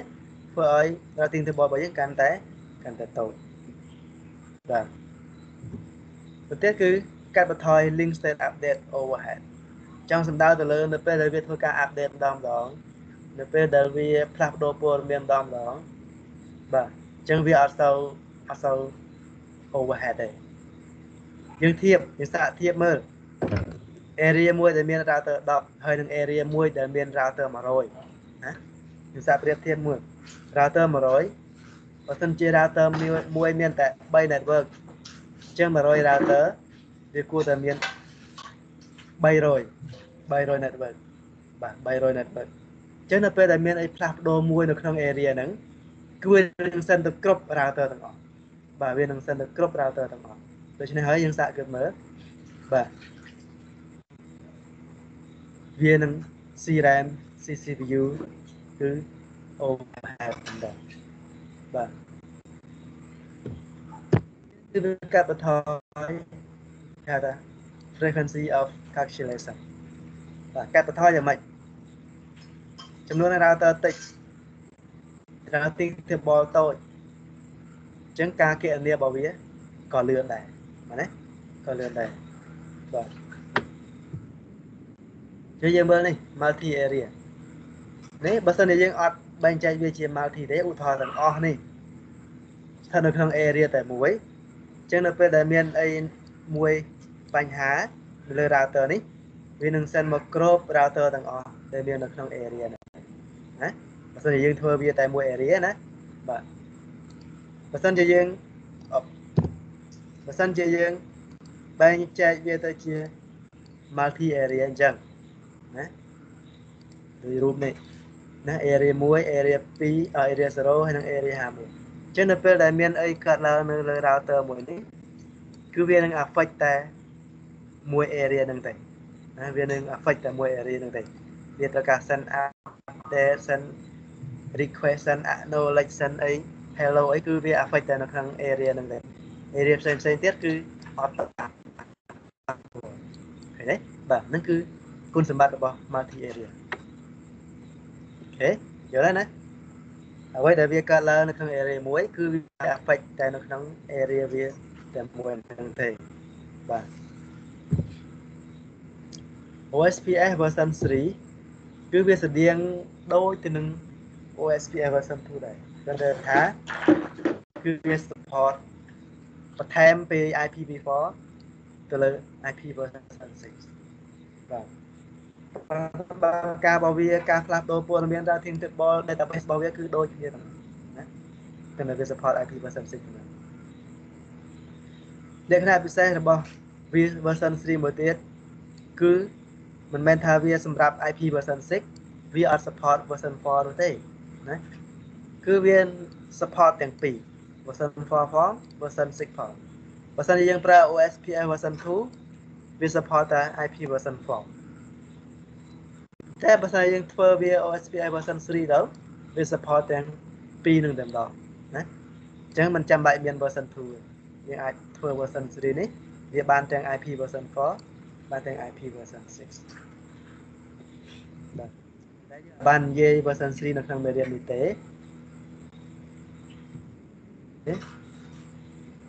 ការប្រើប្រាស់ algorithm របស់វាក្នុងការកំណត់ផ្លូវដែលល្អក៏ប្រើប្រាស់ដូចគ្នាដែរអត់មានអីខុសគ្នាទេបាទ OSPI version 3បានបំបែក process ផ្សេងផ្សេងផ្សេងពី IP version 4 process និង operation គឺមានមូលដ្ឋានដូចគ្នានឹង IP version 4ដែរប៉ុន្តែវាដំណើរការដោយឯករាជ្យ independent independent អេតាយើងចាប់មកចំណុច យើងជិតដល់ម៉ោងខ្វះធ្លាហើយយើងសម្រាប់តិចទៅហើយយើងត្រៀមបាទត្រៀមថ្មទូរស័ព្ទត្រៀម network ដើម្បីធ្វើ quiz តែបន្តិចទេនេះ quiz មិនមែនមេរៀននេះទេ គឺមេរៀនមុនមេរៀនមុនទៀតមេរៀននេះចាំធ្វើសប្តាហ៍ក្រោយបាទមេរៀនទី3លោកគ្រូ មេរៀនទី3ទី2អីណោះទៀតណោះ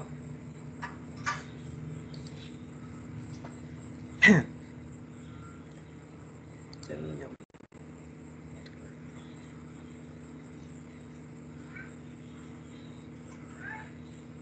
តើមានសំណួរបើមិនសិនជាមានសំណួរ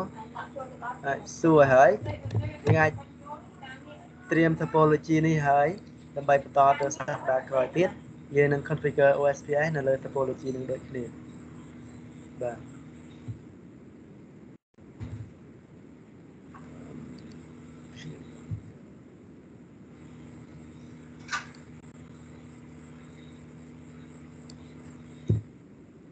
ថ្ងៃទី7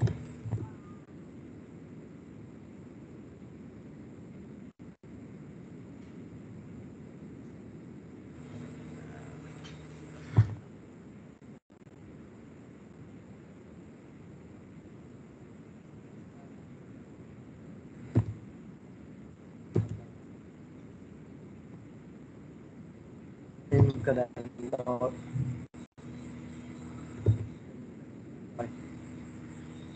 តើមានសំណួរអីអត់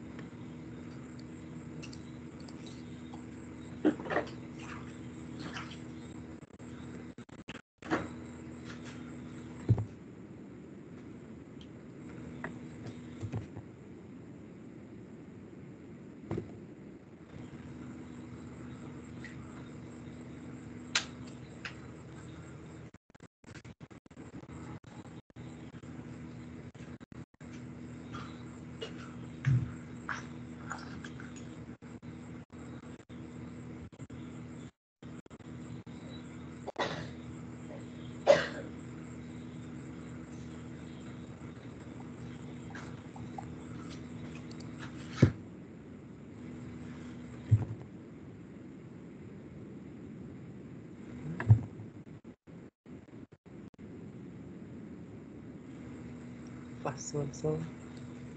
អីទេ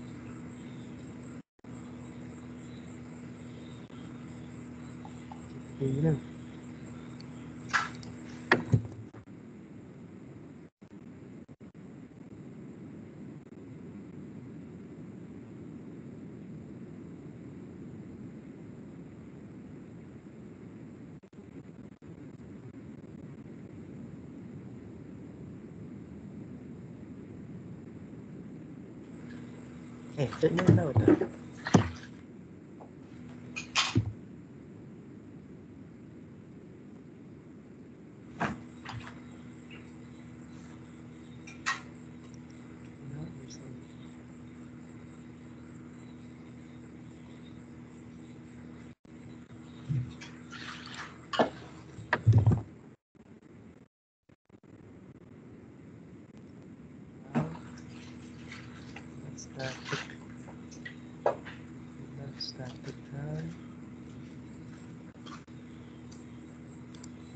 Look at ping internet at school.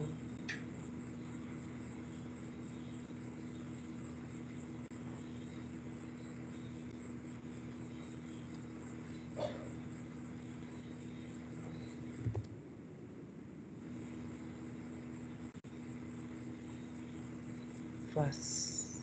01អូ IP លេខ2តា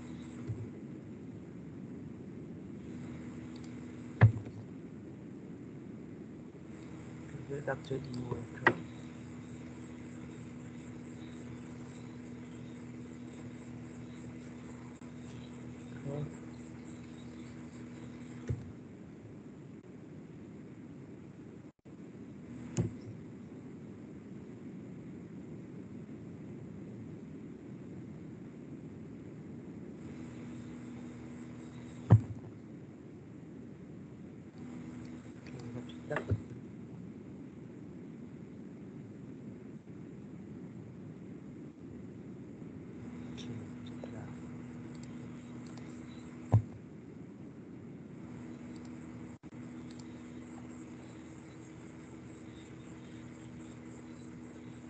Thì ចឹង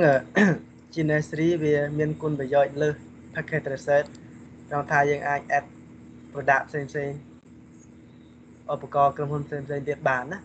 ដូចជារបស់ Microtech ដូចជា Juniper ដូចជា Fortinet ដូចជាដើមចឹងយើងអាចតេស្តបានហើយយើងអាចតេស្តនៅក្នុង GNS 3បានរបស់ Cisco Packet Tracer វាបានតែរបស់ Cisco ទេអូពីធ្លាក់ហើយនៅយើង ឃើញអត់នៅយើងឃើញហើយលោកគ្រូអរគុណលោកគ្រូបាទបាទតោះសើស្រូតបាត់មក9:15នេះហើយអាចសម្រាប់បានវត្តមានដូចជាមាននៅក្នុងនឹងហើយខ្ញុំសួរលោកគ្រូបាទគ្រូឃើញសំណួរទី4អត់ឃើញមានអត់ឃើញមានពេលខ្ញុំធ្វើឲ្យវាអត់វាអត់កែខ្លួនឯងទេគ្រូគ្រូគ្រូលោកក៏លោកគ្រូកែខ្លួនឯង អូខេបាទ ជប់មើល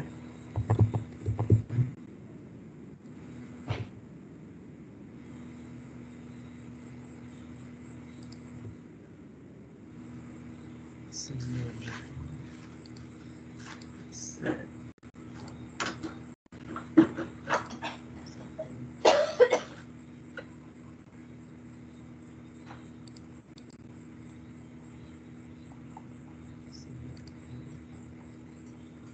Okay.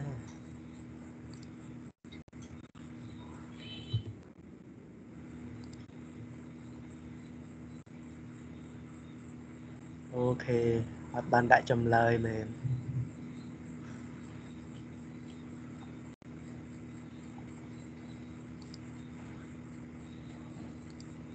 តើ submit ណាយនេះយើង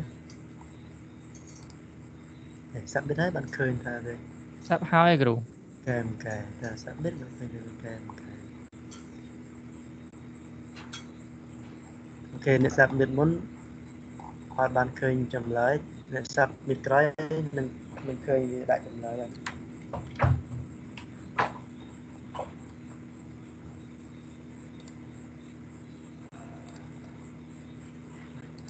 ចា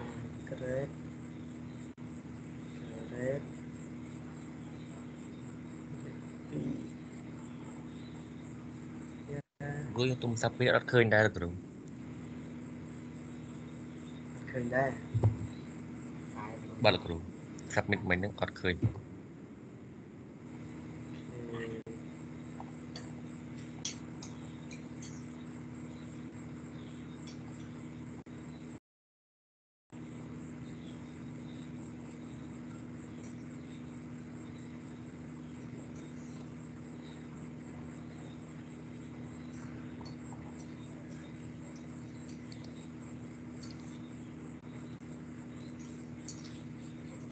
មើលលឿនលឿនណាណា